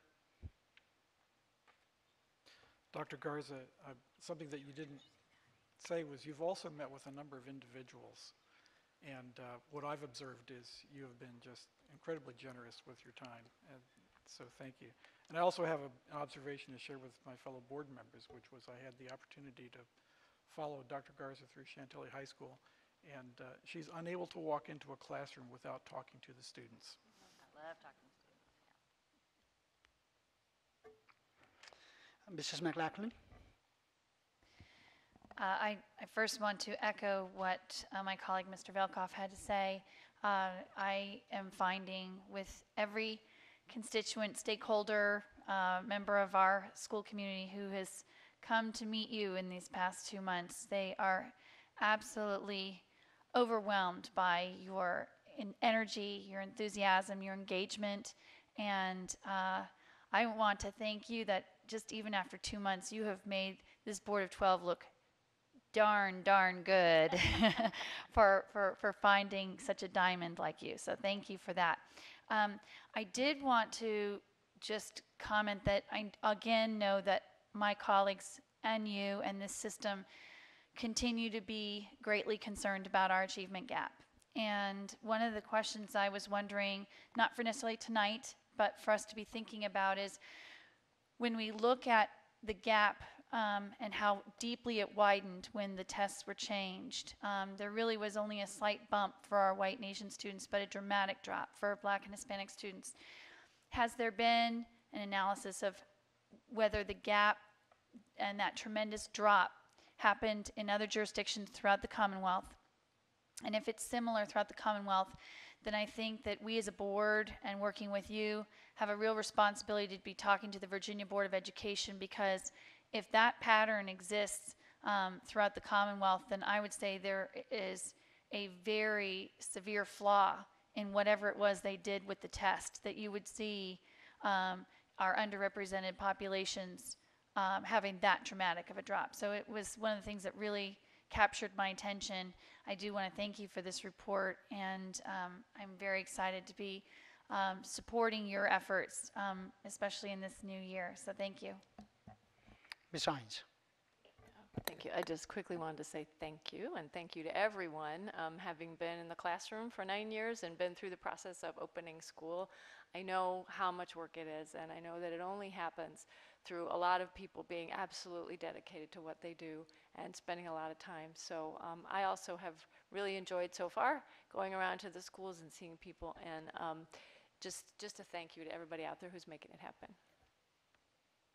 Okay, thank you very much. Uh, next, we have a student representative matters. Thank you, Mr. Chair. Um, so, uh, building on what I said earlier, uh, students are getting back to school and we are getting back to into the swing of things. Uh, one one particular student-driven uh, body that is starting back up again next week is the Student Advisory Council, which is composed of four students from the high schools around the county. Um, so we start our monthly meetings next Wednesday, and I'm very much looking forward to them being able to sit in and listen to uh, all the schools at once, and I'm really excited to use that as a resource this upcoming year. I'd also like to thank uh, everyone who came out and spoke on the uh, TJ admissions policy changes. Uh, I saw three students here uh, and two teachers, and I could have missed a few. Um, and I'll speak more on that matter later. Thank you. Thank you. Next, we have action items.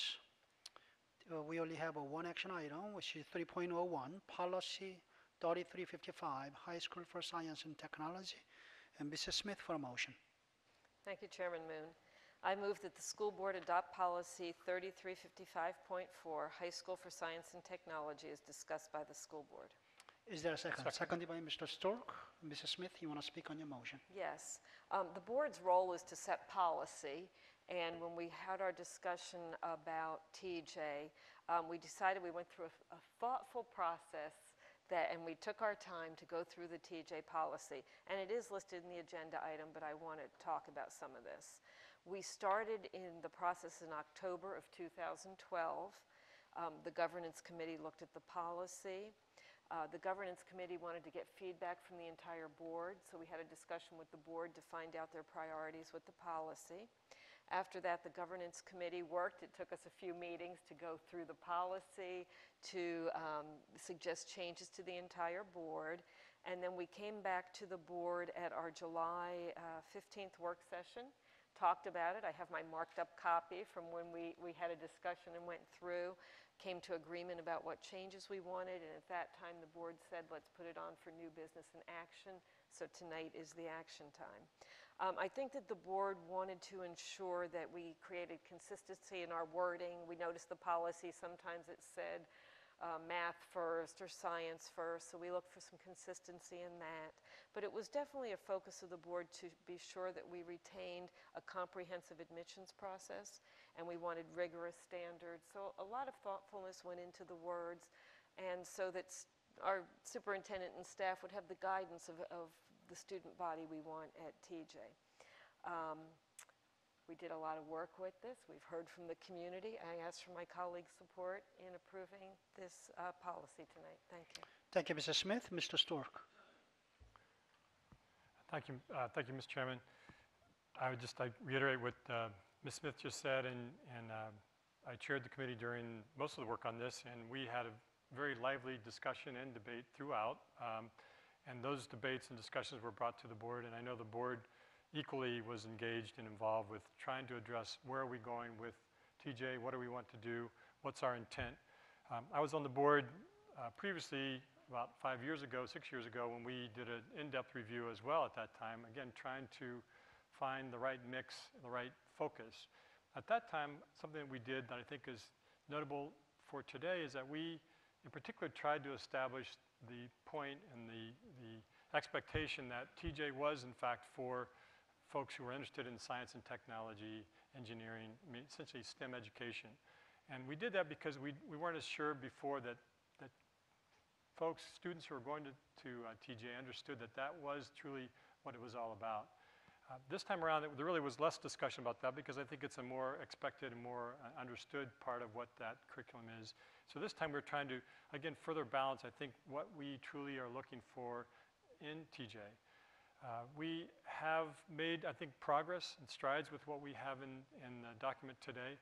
Um, we know we, we recognize that there's some additional work that needs to be done.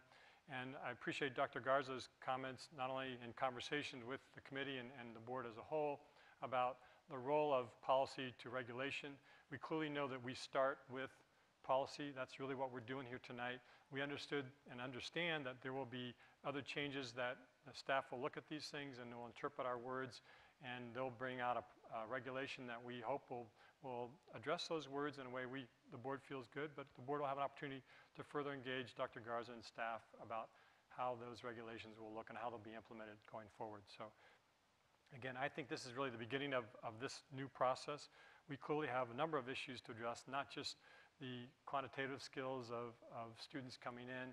And I, again, I would define that very broadly, not just math, but there's clearly a variety of quantitative skills. But we also have some severe needs to address in the uh, student representation at TJ. Those don't start at the admissions level to TJ. They clearly start much sooner than that. And we have absolutely our work cut out for us there. And and I know the board recognizes that, and I know that we need to make some more investments and more efforts in that area to truly have TJ represent what this exceptional, I think, school system represents, which is high-functioning, highly focused um, students and wanting to be successful as, become successful as adults. So, thank you. Thank you, Mr. Storck. I have uh, four board members on my list right now. Uh, Mr. Strauss, Mr. Anna Kaufax, Ms. Evans, and Mrs. McLaughlin. Before I go to Mrs. Strauss, let me call on Dr. Garza. Yes, thank you, uh, Mr. Chairman. I just wanted to uh, thank you, Mr. Storck, for bringing that up. Yes, it is important um, that the work that this this board has done on this policy, and um, we are, and I want the member, I know the board knows this, but I want the community to know that we do have a committee that is working on uh, some draft regulation on how we might take these these um, this new policy and actually execute it, uh, make it make it actionable. I was uh, pleased to hear some of the recommendations from uh, some of the speakers tonight. Actually, will be reflected. Um, I suspect. Uh, with that work, uh, because some of that conversation I'm well aware of in terms of making sure that we have some of our highest achieving math students, making sure that the holistic scoring approach, which I think is a great um, you know, it's the best practice. But we also are challenged with making sure that we have students have equal opportunity to be well prepared for success and have the opportunity to get into TJ. Um, we also are looking at new assessment instruments to make sure that we have a very rigorous uh, assessment instrument that will, and we have a broad section of individuals who are helping us do that, including the principal at TJ. So I expect some really good, uh, sound uh, recommendations for regulations from that committee. Thank you, Dr. Garza. Uh, let me call on Mr. Strauss to be followed by Mr. Kaufax. Thank you. Yes, I very much support um, the, the, the proposed changes that we've worked on for this policy. And Dr. Garza, thank you for the work with the committee because it, it, it, it is important that we get everybody's feedback and input. We've worked for years on the wonderful curriculum that is offered at Thomas Jefferson. It is a particular school with a particular focus. And we want to make sure that the young people who attend Thomas Jefferson are prepared and ready to engage in the, in the specialized program that is there. Um, and again, as some of the speakers have said tonight, it is in- incumbent on us that we prepare children for, for those who are potentially the, the deep thinkers and that will uh, excel in the STEM fields and yes, be good mathematicians.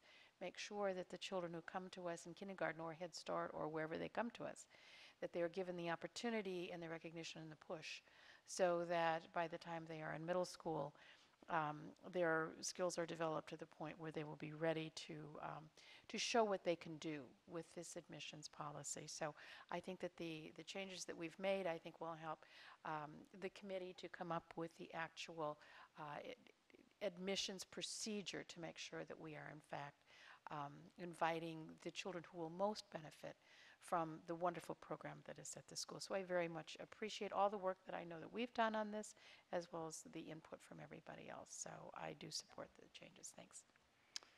Uh, Mr. Narcofax. Thank you. Um, I just want to say I appreciate everyone's comments, their candor and passion who came out to talk about, about this tonight. Um, we really do hear you and we listen to you. And as Dr. Garza said, as the dialogue continues, we will um, be be making continue to make changes and improvements to this. Um, as Ms. Smith and Mr. Storck talked, um, the changes that we brought that are brought before us tonight are ones that have been well thought out. Um, they've been represented, um, you know, in dialogue with the full board, with the governance committee, and they've also reflected comments provided to us by the AAP community at large. So I will be, of course, supporting the language as written, but I do look forward to continued conversations on this topic to keep TJ the number one STEM um, school in the country. I have a Miss Evans to be followed by Mrs. McLaughlin and Miss Hynes, Mrs. Reed, and Miss Schultz. Ms. Evans. Thank you. Uh, First of all, I wanted to thank all the community members who came out to talk to us about um, this policy. Um, I I appreciate uh, both the the comments as well as the emails we've received on this. Um, It's good to see everyone paying attention to this. Uh, This is a a modest but positive change in our policy, and um, we do have larger issues, as as others have referred to. We have larger issues to deal with, in particular, um, making sure that we have uh, more true diversity at this school, as well as making sure that the students who attend Thomas Jefferson also do have the math skills that they need to flourish at that school. So I am very pleased that this, um, that we are making these changes, but also that Dr. Garza is focusing on this issue, and I will look forward to, to those recommendations. It sounds like you're well on your way. Thank you. Miss, Mrs. McLaughlin. As um, a member of the governance committee that worked very carefully on this policy, and as a former college admissions officer, I wanted to share with the community that um, I had been very concerned with the existing policy we had in place, as well as the admissions practices.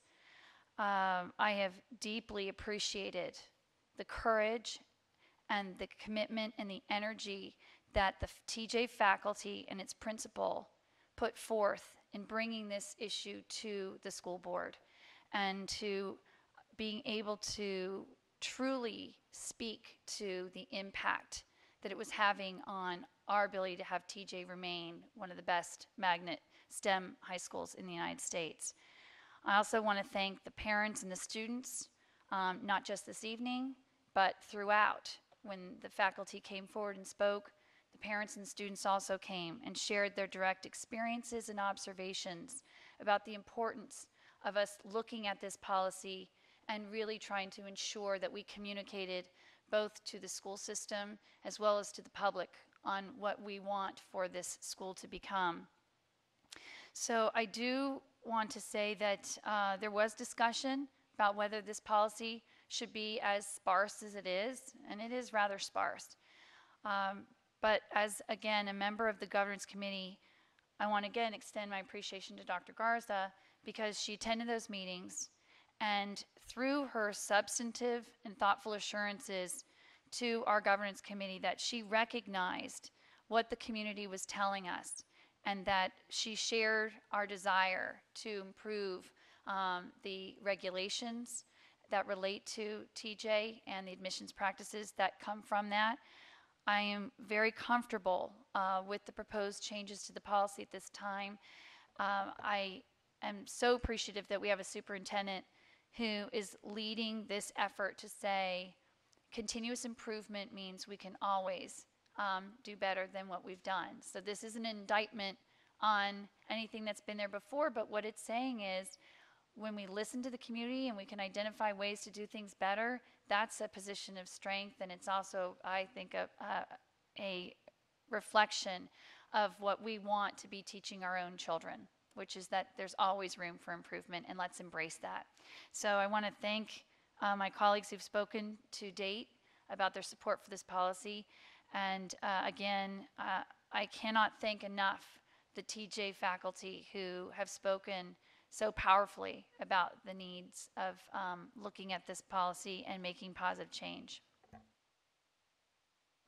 Hynes to be followed by Mrs. Reed and Ms. Schwartz and Mr. Ash. Thank you. Um, I, I will support this change. Um, I feel confident, having uh, watched what's happened so far and listening to Dr. Garza just now, that um, the regulations that will implement this will be done in a way that does address the concerns of the TJ faculty, and um, I, that's obviously something that we need to do. The, the second question here, though, and other people have mentioned it, I'm very uh, grateful that the COTS representatives were here tonight to talk to it. Um, I think anytime we look at TJ admissions, we absolutely have to look at the uh, the diversity problem, and it's a problem. Um, and if if the uh, implementation of this policy also makes what we do more equitable and transparent and less vulnerable to um, the effect of family resources, um, then we will have also, I think, made some important steps there. But of course, as everybody, as people have said, it, it doesn't start with TJ admissions, it starts a lot younger. And um, I've never been particularly fond of the way we do advanced academics um, in this county. And uh, one of the reasons is that I think, um, and we do have to be a little bit careful how we talk about this, but I think that if you look at the numbers, uh, we are segregating. And I know we don't do that on purpose, but when you look at the numbers, that's what's happening. And it's starting in third grade. And uh, so I think um, uh, I'm, again, I'm glad that COTS was here tonight to talk about that. Um, and I, I think it has to be uh, one of our goals um, as a school board right now to ensure that those pipelines to TJ are not um, avenues of unfairness. So. Mrs. Reed, Thank you, Mr. Chair. I very much support this policy. Uh, I've been on governance um, for a couple years now, and so we have worked diligently and discussed this in great detail. And at one time, I think one of our drafts was probably about three times as long because we were jumping into the operational details. And soon we learned that uh, we needed to be back in the policy world and we needed to make sure that we used specific language in order to give the superintendent uh, adequate direction, but then to let her and her staff do their jobs. So um, I feel that we have attained that goal. I feel very good about it. I feel that with this policy, we have given her direction so that we'll have the right students in the school that will uh, be addressing some of those issues that were raised by teachers and administrators and families. Um, and I, I, feel that also this could give us an opportunity to really look for those diamonds in the rough, people who have the potential to be deep creative thinkers, who can help us solve real world problems, who can be creative, who can communicate. But maybe, as my colleague Ms. Hynes just said, maybe don't, don't come from the same background as someone else. And so I'm hoping that you can come up with a way to try to find the potential in people. And, and TJ may be one answer, but the other thing I learned by talking to the AAP advisory committee the other day is they said to me, well, why are we only emphasizing TJ as the only answer? You know, if you're not in TJ, well, then there's no other options. And so part of my learning process, I think, is, is understanding okay, this is one avenue for people, but what about everyone who applies who doesn't get in? Or who isn't interested in applying, you know, what are we doing to encourage those kids just as much to, uh, to enter the STEM fields and to reach their potential?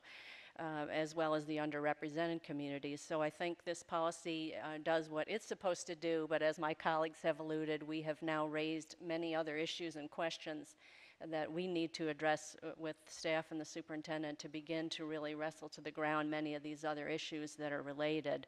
But I certainly feel that this is, is much tighter. It's more concise. It gives you the direction that you need, Dr. Garza. And I also want to thank, along with Ms. McLaughlin, um, all the, the staff, uh, the FCAG members, Dr. Glazer, the APAC folks, everybody, the parents who've really been working here. It's been about a year, I believe.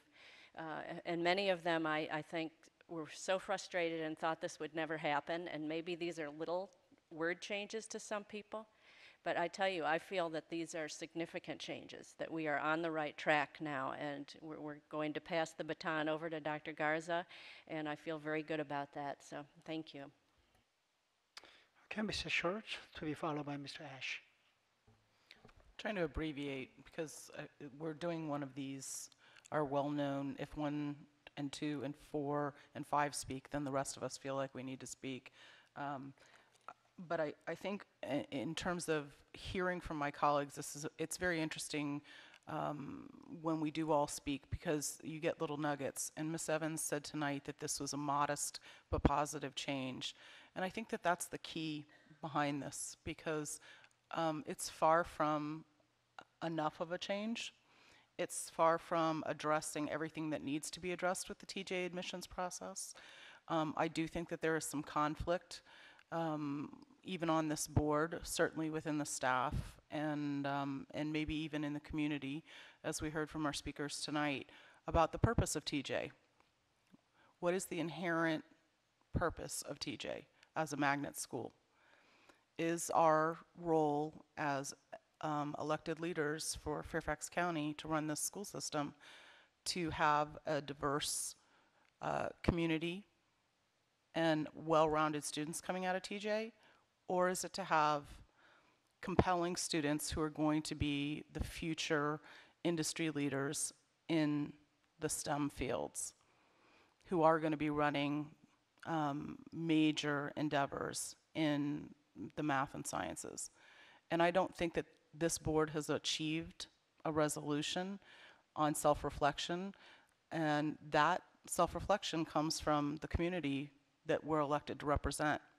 So if there are opinions on this, we need to hear it because we, we are not here to operate independently of our own mindset. We're here to elect, to be elected and to represent the 1.1 million residents in Fairfax County and the two and a half billion dollars, the 68% of the county's budget, or 54% of the county's budget, I apologize. Um, so that's a substantial amount of money that goes toward the education of all of our students. But I do think that there has to be some inherent acknowledgement TJ was created for a purpose and whether or not we're going to remain true to that purpose. I do think that this is a modest and positive change, um, as my colleague Ms. Evans said. Um, but I do think that there is much work to be done, and a lot of it is going to have to do with an assessment of what the future of TJ is and what the real purpose of that school is going forward. Thank you. Mr. Ash. Thank you, Mr. Chairman.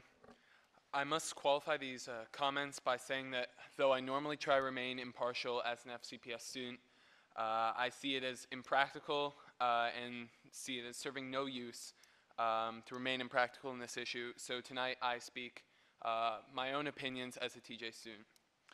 Um, so uh, the other board members have described um, the broad significance of these changes, but I'd like to actually uh, just explore a few of them. Um, the first is the use of the word exceptional in regards to quantitative skills. Um, we may not be able to fill a class uh, with exceptional math students, but we can try. And of all the mathematical, of all the scientific geniuses that I've learned about, I can only think of one um, who didn't have particularly strong math skills and still achieve something great in science. Uh, on the word rigorous, uh, as in rigorous standards in the admissions process, I hope this leads to a tougher math section um, and a clear analysis that, yes, these students do have what it takes to uh, keep up with the math classes. Uh, I was a particular, um, particular advocate for the word passion because TJ is geared towards uh, people with an innate desire to go into STEM. And so if they don't have that passion, if they don't have that drive that's willing to make them not just uh, do the requisite workload, but go, uh, go on, try to get ahead or try to explore more concepts or uh, work outside the parameters somehow in their own interest. If they don't have that desire, then I don't believe they will truly succeed at TJ. They might get by, they might even get all A's, but that's not what TJ is about. Uh, finally, the word holistic. Uh, finding this passion um, in, by reading essays and reading short answers is difficult. Um, and we need to find a process that can really look at a whole, uh, a whole person and say, this student has it, this student has that drive. Um, in summary, kids at TJ only truly succeed if they want to be there and want to learn. And that's, I believe these changes are really geared towards that, and that's why I support this policy change. Thank you. Okay, with that, not seeing any more hand, let me call for the vote. The motion on the table is to adopt the policy 3355.4, High School for Science and Technology as discussed by the school board. All those in favor of the motion, raise your hand. The vote is unanimous, the motion passes. And let me see whether we can see the screen.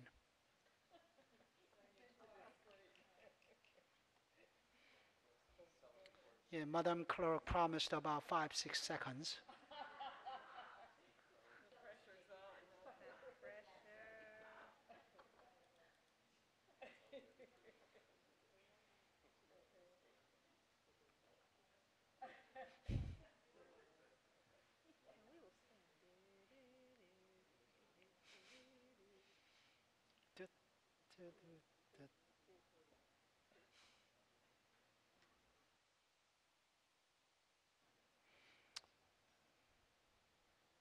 Glitch.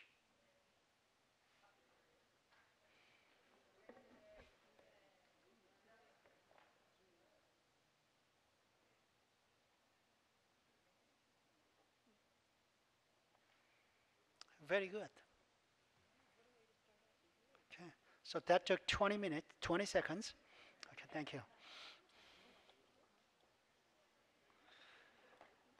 Okay, next order of business is consent agenda. Our adopted rules of parliamentary procedure, Robert's rules, provide for a consent agenda listing several items for approval of the board by a single motion. Most of the, of the items listed under the consent agenda have gone through board committee review and recommendation. Documentation concerning these items has been provided to all board members and public in advance to assure an extensive and thorough review Items may be removed from the consent agenda at the request of any board member prior to the meeting. 4.01 Approve the minutes of June 10 and July 9, 2013 operational expectations work sessions, the July 25, 2013 regular school board meeting, and September 4, 2013 special meeting regarding contractual matters. 4.02 Adopt policy 8 1802, student representatives to the school board. Policy 2301, psychological testing, screening, student evaluation, and placement. Policy 2245, home instruction by parents and part-time enrollment of homeschooled students. Policy 4130, state licensure requirements, educational personnel. Policy 4415, hygiene practices. Uh, policy 4440, performance assessments and evaluations and policy 4450, communication between the school board and its employees as detailed in the agenda item. 4.03, appoint members to the Family Life Education Curriculum Advisory Committee as detailed in the agenda item. 4.04, award the contract for the chiller replacements at Robinson Secondary School to the lowest responsible responsible bidder EDW Cochrane and Company Incorporated in the amount of $729,000 and authorize the division superintendent or the assistant superintendent of facilities and transportation services to execute and administer the contract on behalf of the school board. 4.05, appoint individuals to serve on committees as detailed in the agenda item. Is there any objection to approving the consent agenda? Hearing and seeing no objection, the consent agenda is approved. Next, we have new business. The following are new business agenda items. There will not be a vote tonight on these items, but action is scheduled at a future meeting. 5.01, appoint individuals to serve a one, a one-year term on the Challenged Material Interdepartmental Review Committee as detailed in the agenda item. 5.02, award the contract for the automatic temperature control system replacement at Franklin Middle School to the lowest responsible responsible bidder and authorize the division superintendent or assistant superintendent of facilities and transportation services to execute and administer the contract on behalf of the school board.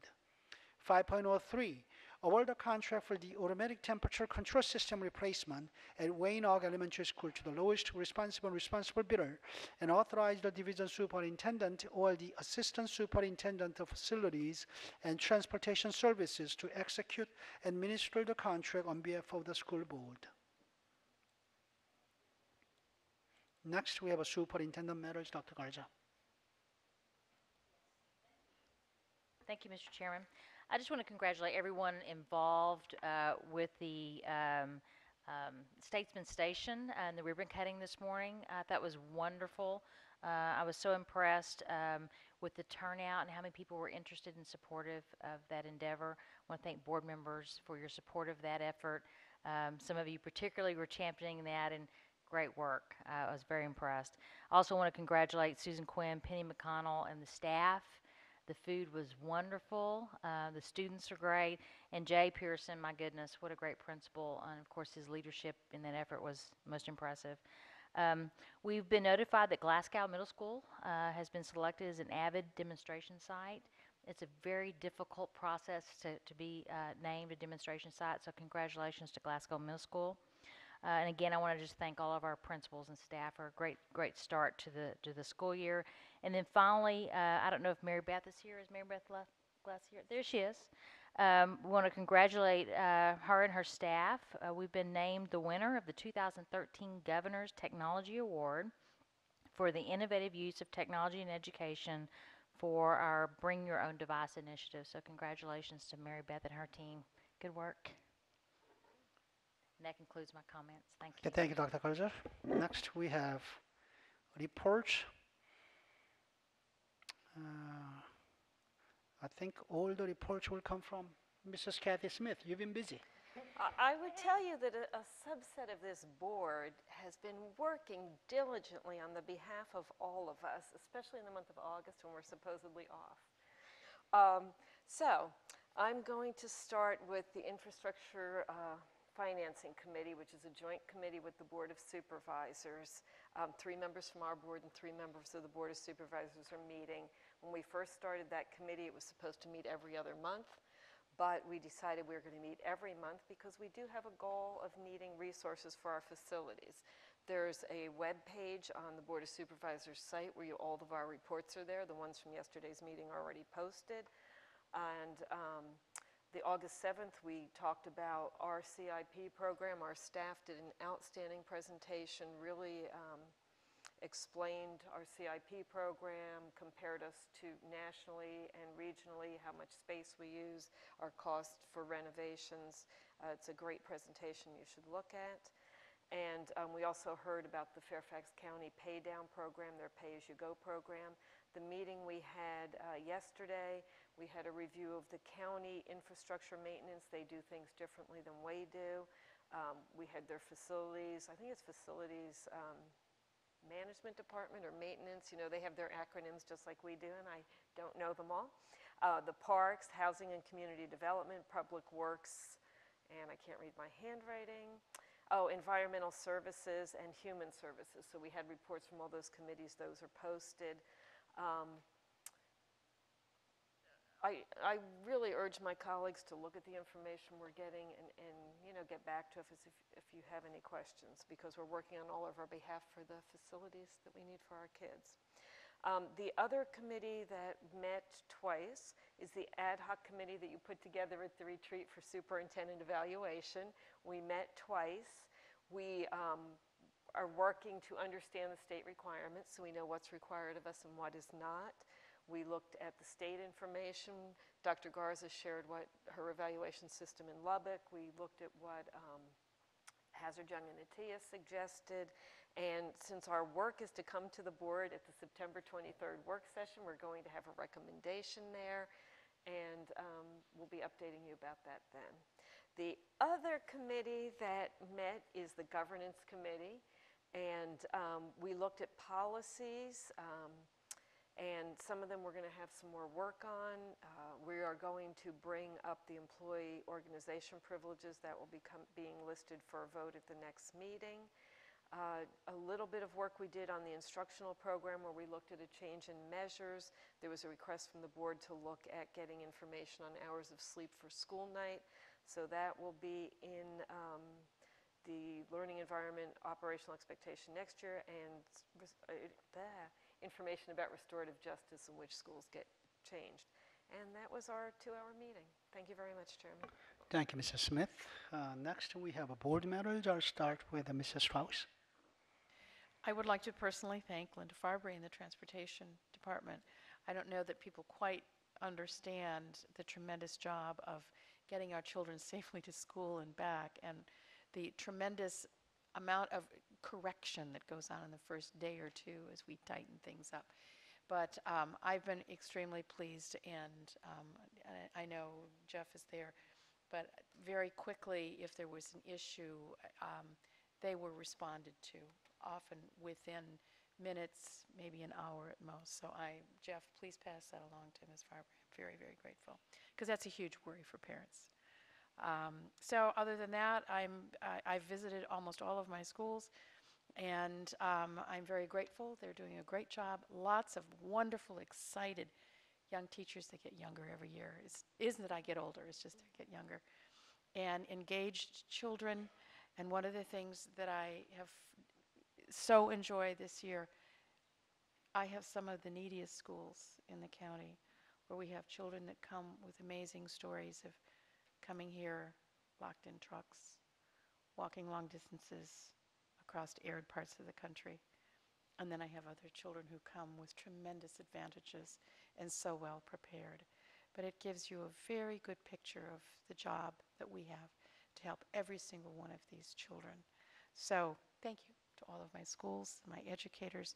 They dearly love every single one of these children, regardless of the difficulty and the challenges or the giftedness that these children come to school with. They are all, all of these teachers are so excited to work with these kids, so it's been a good opening. Thank you. Ms. Evans. Yes, well, first of all, I want to congratulate everybody on this uh, successful start of a school year. Um, I also have been going out to my schools and talking with uh, principals and teachers and parents, so I've been, enjoyed that process. And um, even though it was summertime, uh, since the last time that we, we met here, things have been going on, and I do want to congratulate in particular the Annandale High School Pyramid. Uh, they put on the first um, Annandale Pyramid Back to School Fair. It was very successful. Um, nearly 3,000 individuals came to that fair. Um, there were free haircuts given, um, backpacks, school supplies, um, a lot of information from the, the schools throughout the pyramid um, $3,000 worth of donations, and I, I just want to say that You mean three- um, 300,000. 300,000, what did I say? Oh, no, that was 3,000 people and 300,000 donations. Thank you, Mr. Moon.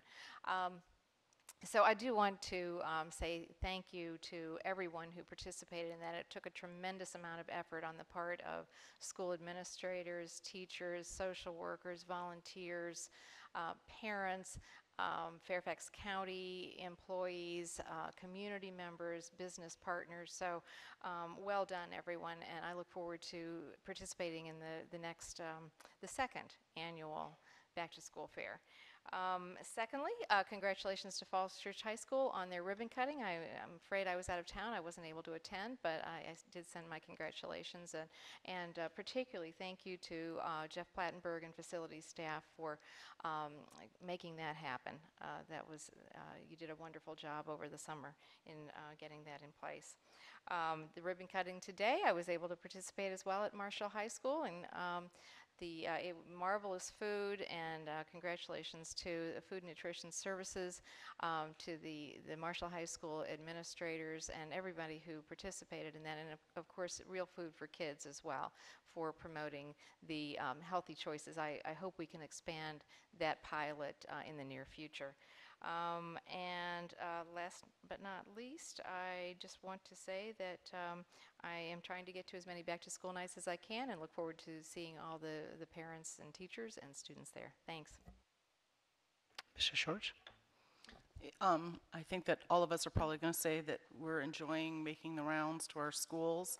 Um, I, I, in particular, want to um, congratulate Robinson on an exceptional back-to-school night and welcoming um, the students from the Fairfax um, Island, Fairfax Station Island.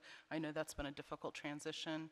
Um, in particular, I want to acknowledge uh, Mr. Platenberg, who has a uh, tremendous uh, opportunity in running. I believe the one point we did not make is that we do have the largest school bus fleet in the country, do we not? Yeah. So uh, uh, apparently, we're going to overtake Greyhound um, by the year 2017 or something like that. Um, there are significant challenges with those, um, with transportation, um, not only for Robinson but uh, other schools. The hope is that both for the challenges within a neighborhood, um, with schools that have uh, traffic um, on kiss and ride lines or or buses as parents settle into their, their routine, that that does improve. I know that um, certain of my civic associations have had some difficulty um, with, with traffic and with the settling in of the back-to-school um, patterns, but have faith um, with a school system this size. Um, the hope is that within the next uh, two weeks or so, that we're going to see some normalcy um, arrive there. I have um, in the Springfield district, um, I have one or two schools that have arrived back to some unique challenges this uh, this year. Uh, I do want to welcome Dr. Angela Atwood, uh, Atwater, uh, as our new cluster assistant superintendent, and I I just want to convey to those certain school communities that the team of Dr. Karen Garza and Dr. Atwater and the rest of the FCPS staff, along with myself, are here for you. Uh, we are responding to individual emails and um, community emails. So please know that there is a tremendous amount of support for you, and we will continue to provide that as we level out your particular situations. Um, I do have one comment um, with regard to something that's just appeared in the Post. Um, when you look at the, the growth patterns that were presented tonight in our um, terrific report on back to schools, and you realize that we're adding um, the, the number of students that we're adding, and I'm looking at, you know, 16 and a half thousand students added in like the last six or seven years. You know, that's larger than most school systems in the entire country. Every year, we're adding um, entire new school system to, to our um, division. And there are some substantial challenges that have to be met. But it is never a noble government pursuit, um, in my opinion, to go after personal property of either business owners or personal property of homeowners. And I, I want to caution the residents of Fairfax County very carefully to pay attention and give us feedback before we start talking about eminent domain and seizing things because of poor proper planning from the past.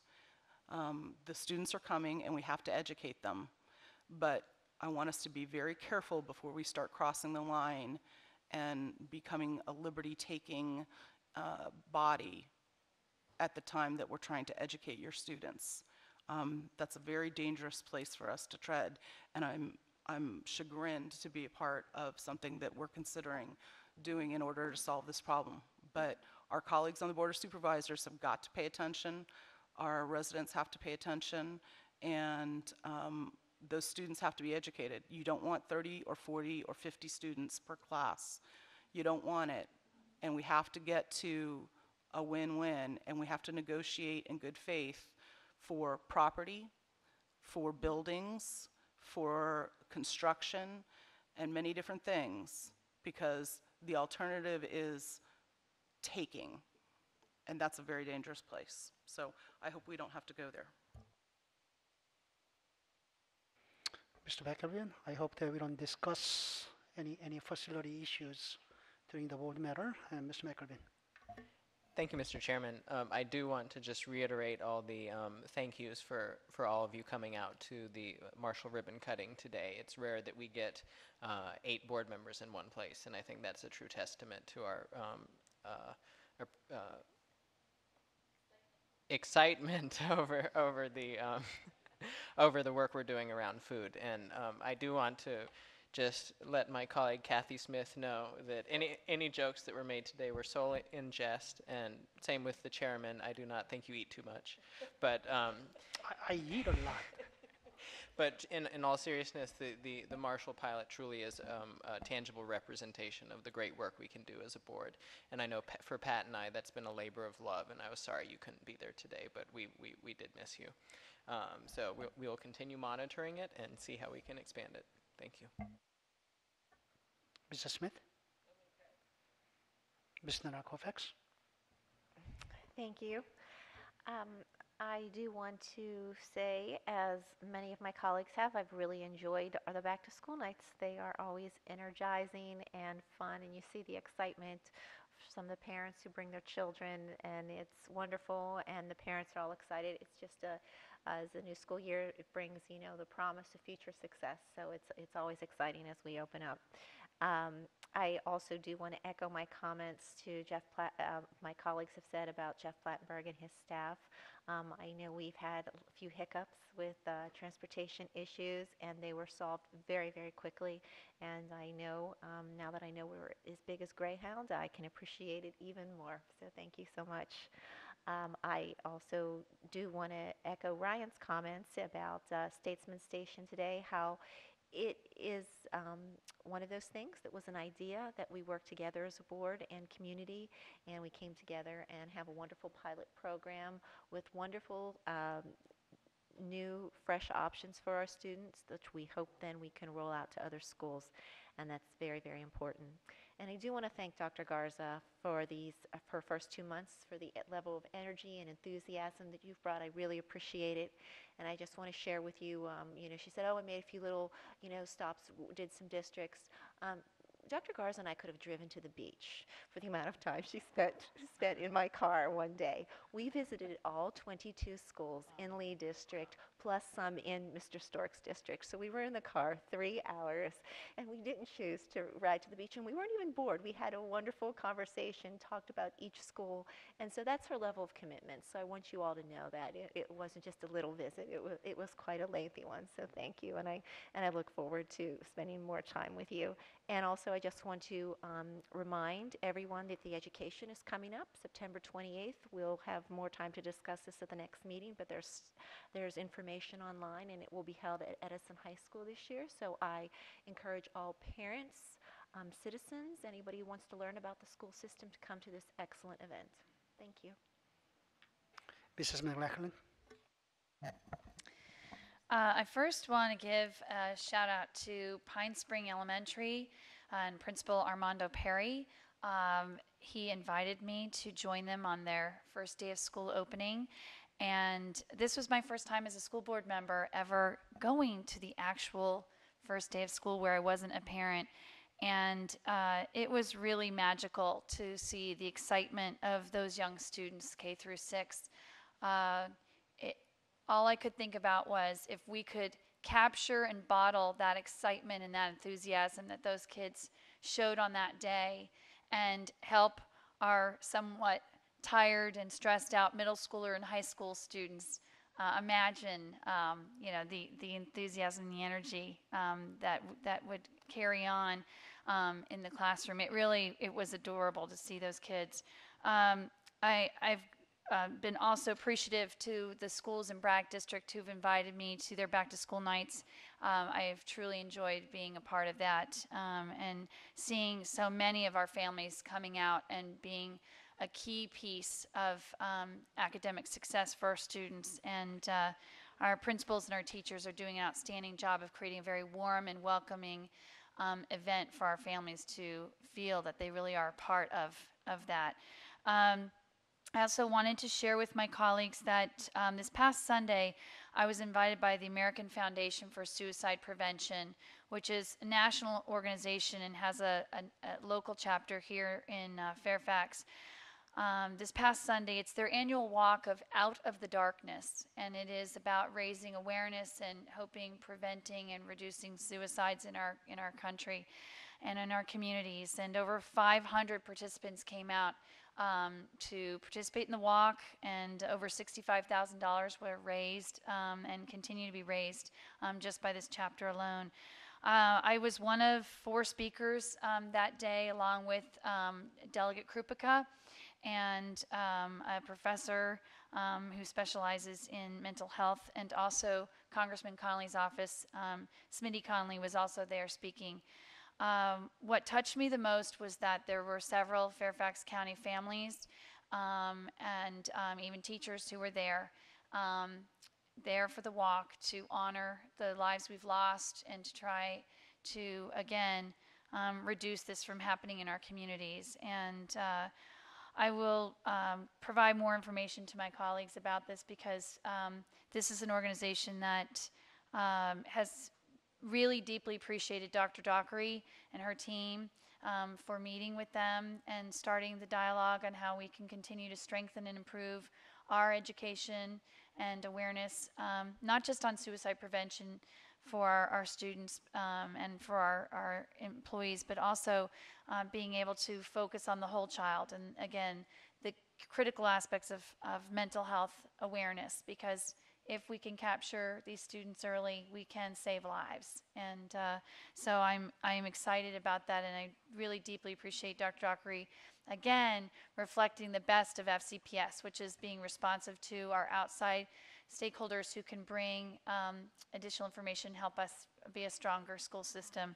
And uh, finally, I do want to echo the shout outs to um, Jeff Platenberg and his team. Um, two of my high schools in Braddock District, both Woodson and Lake Braddock, uh, received um, their new um, synthetic turf fields um, in uh, this summer. Um, and in Woodson's case, they literally were finished uh, 48 hours before game day, so that their first home game uh, was able to be played at Woodson. And for those seniors, especially when you only have five home games before your high school career ends, it was really meaningful. And I want to thank Jeff again publicly so much because I know how much that meant to our families. Um, and it was a, a, truly a sausage factory behind the scenes trying to sort through some of it. And, and Jeff, you did an outstanding job and you kept your cool the whole time. So my, my personal appreciation for that. Thanks, everybody. Besides. Yeah, thank you. Um, yes, I'm very sorry to have missed the Statesman Station opening today, and I, I forgot to ask somebody to make me a plate, so I'm assuming that didn't happen, but um, I'll have to go back and, and get lunch there one day. It looked beautiful. Um, uh, thanks to Food Nutrition Services, Marshall High School, Real Food for Kids, and uh, my partner Ryan um, for all the work that you did on it. Um, back to school nights quickly. I was at Thoreau briefly tonight, Thoreau Middle School. Everything is uh, everything came off very smoothly and beautifully. They're about to head into a huge renovation project, so um, wish them luck on that. It will be beautiful when they're done. Out at Forest Edge last night, uh, which again, sort of as Ms. Strauss was saying, Forest Edge community is, is a reflection of all the great diversity and, and just the, the wonder of this um, county. So it was really nice to be there. Um, I will be out at some more next week. I'm very sorry that I won't be able to be at every one, but it's not possible. They are stacked up on some nights. Um, the end of October, I am very much looking forward to uh, being on the listening tour with Superintendent Garza out in Hunter Mill. Um, We're just setting the date and the location right now, um, but as soon as I have that, I'll be sure to shoot that out to everybody in Hunter Mill. Um, And thank you so much for uh, being willing to do that. It's going to be fun. Um, uh, a couple weeks ago, I was out in Reston, Reston Interfaith, which is now called Cornerstones. They've changed their name, but it's a great organization. I always say if you're in Reston and you see somebody doing something that needs to be done, it's probably Reston Interfaith. So it's probably Cornerstones now. Um, had a wonderful event at Stone in the Stonegate community.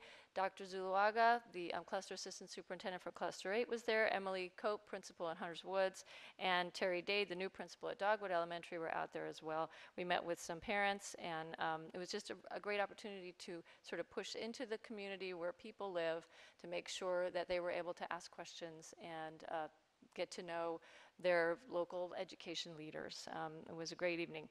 And finally, um, Mr. Platenberg, uh, you have an email coming from me on transportation. I'll translate it as one bus issue. But I have to say, I mean, given the complexity of, of this system, I think uh, people really, it is amazing um, that we had such a smooth start. Uh, it's really, it's really wonderful. So thank you so much, everybody. Mrs. Reed. Some of this we can't help but repeat ourselves, I guess, but uh, thank you, Mr. Platenberg, for helping get all the turf fields ready. Uh, in my case, it was Falls Church. I represented the board there at that and spoke to the crowd. It was very, very exciting for them.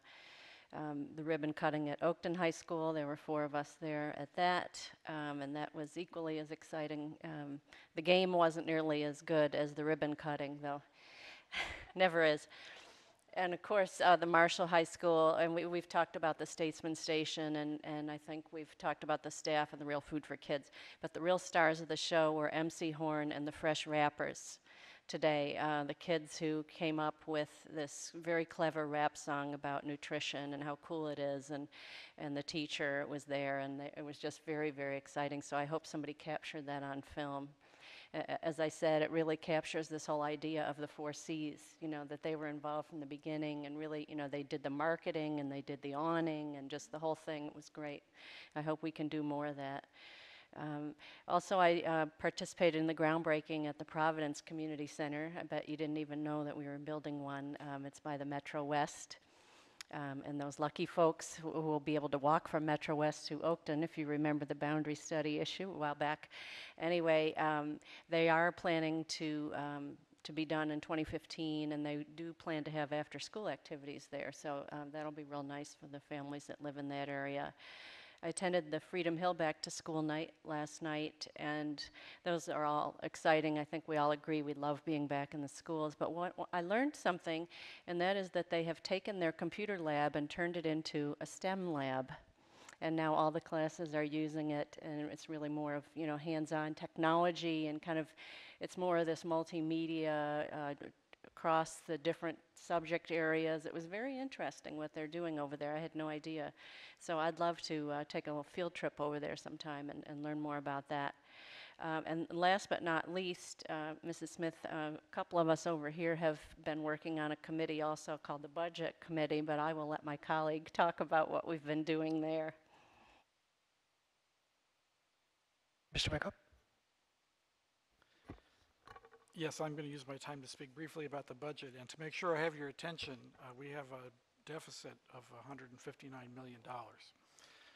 So um, we should all be aware that at the uh, work session on September 23rd, we are going to provide some guidance to the superintendent in terms of what we value.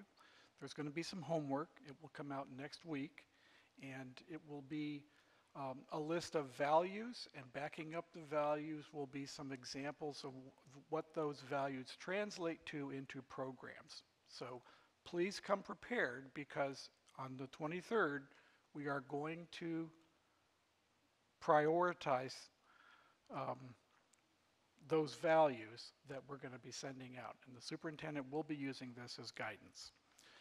Uh, if you have any questions, of course, please contact me or Mrs. Reed. Um, also, I believe all of you are, are aware that uh, we have individual meetings scheduled for each of you to meet with the superintendent and the chief financial officer. And these meetings are an opportunity for each of us to have questions answered. If you have cer- certain questions that are going to require some research, please send them in advance, and so that the answers can be ready, and we're not putting um, Mrs. Quinn or Mrs. Michael on, on the spot on those things. Um, But it's a, so it's a, an opportunity for you to have questions answered, and it's an opportunity for you to express your opinion about some of the choices that may be made this year. Um, And the last thing I just want to say is, um, I, I, I think that's a good example of um, the level of commitment to transparency and communication about the budget. And I believe that the, the new superintendent, the financial officer, are completely committed to a transparent process and um, making sure that everything we do is credible. Um, so again, I encourage you to bring your opinions and your questions to those meetings. Mr. Storck. Thank you, Mr. Chairman. I wanted to thank Dr. Garza to start for um, being at Washington Mill Elementary School for back to, to school. Um, well, actually, not for the first day of school, and, and meeting with um, Brian Bennick, who's also a new principal there. He's just uh, been there a few months, and uh, he uh, was off to a very enthusiastic start. I think uh, we would both agree, and the kids clearly were as well. So, again, thank you, Dr. Garza, for your attendance there. Uh, back to school nights, I, obviously, as has been said by many of you, can't go to all of them, but I do love to go to them, and I try to go to as many as I can. And, and had, had, have had the opportunity to, to go to Laurel Hill Elementary School and meet with Susie Montgomery, the principal there, and, and the kindergarten classes, and meet with some of the parents as part of that. Uh, Waynewood Elementary School is also one of the larger elementary schools and a very active elementary school. They always have a major assembly with, with at least six or 700 parents there, so it's uh, one of those kind of events. And, and, uh, and Jamie Meyer always does an excellent job of working with the, the staff and, and the principals, excuse me, the parents to, to make sure they're ready.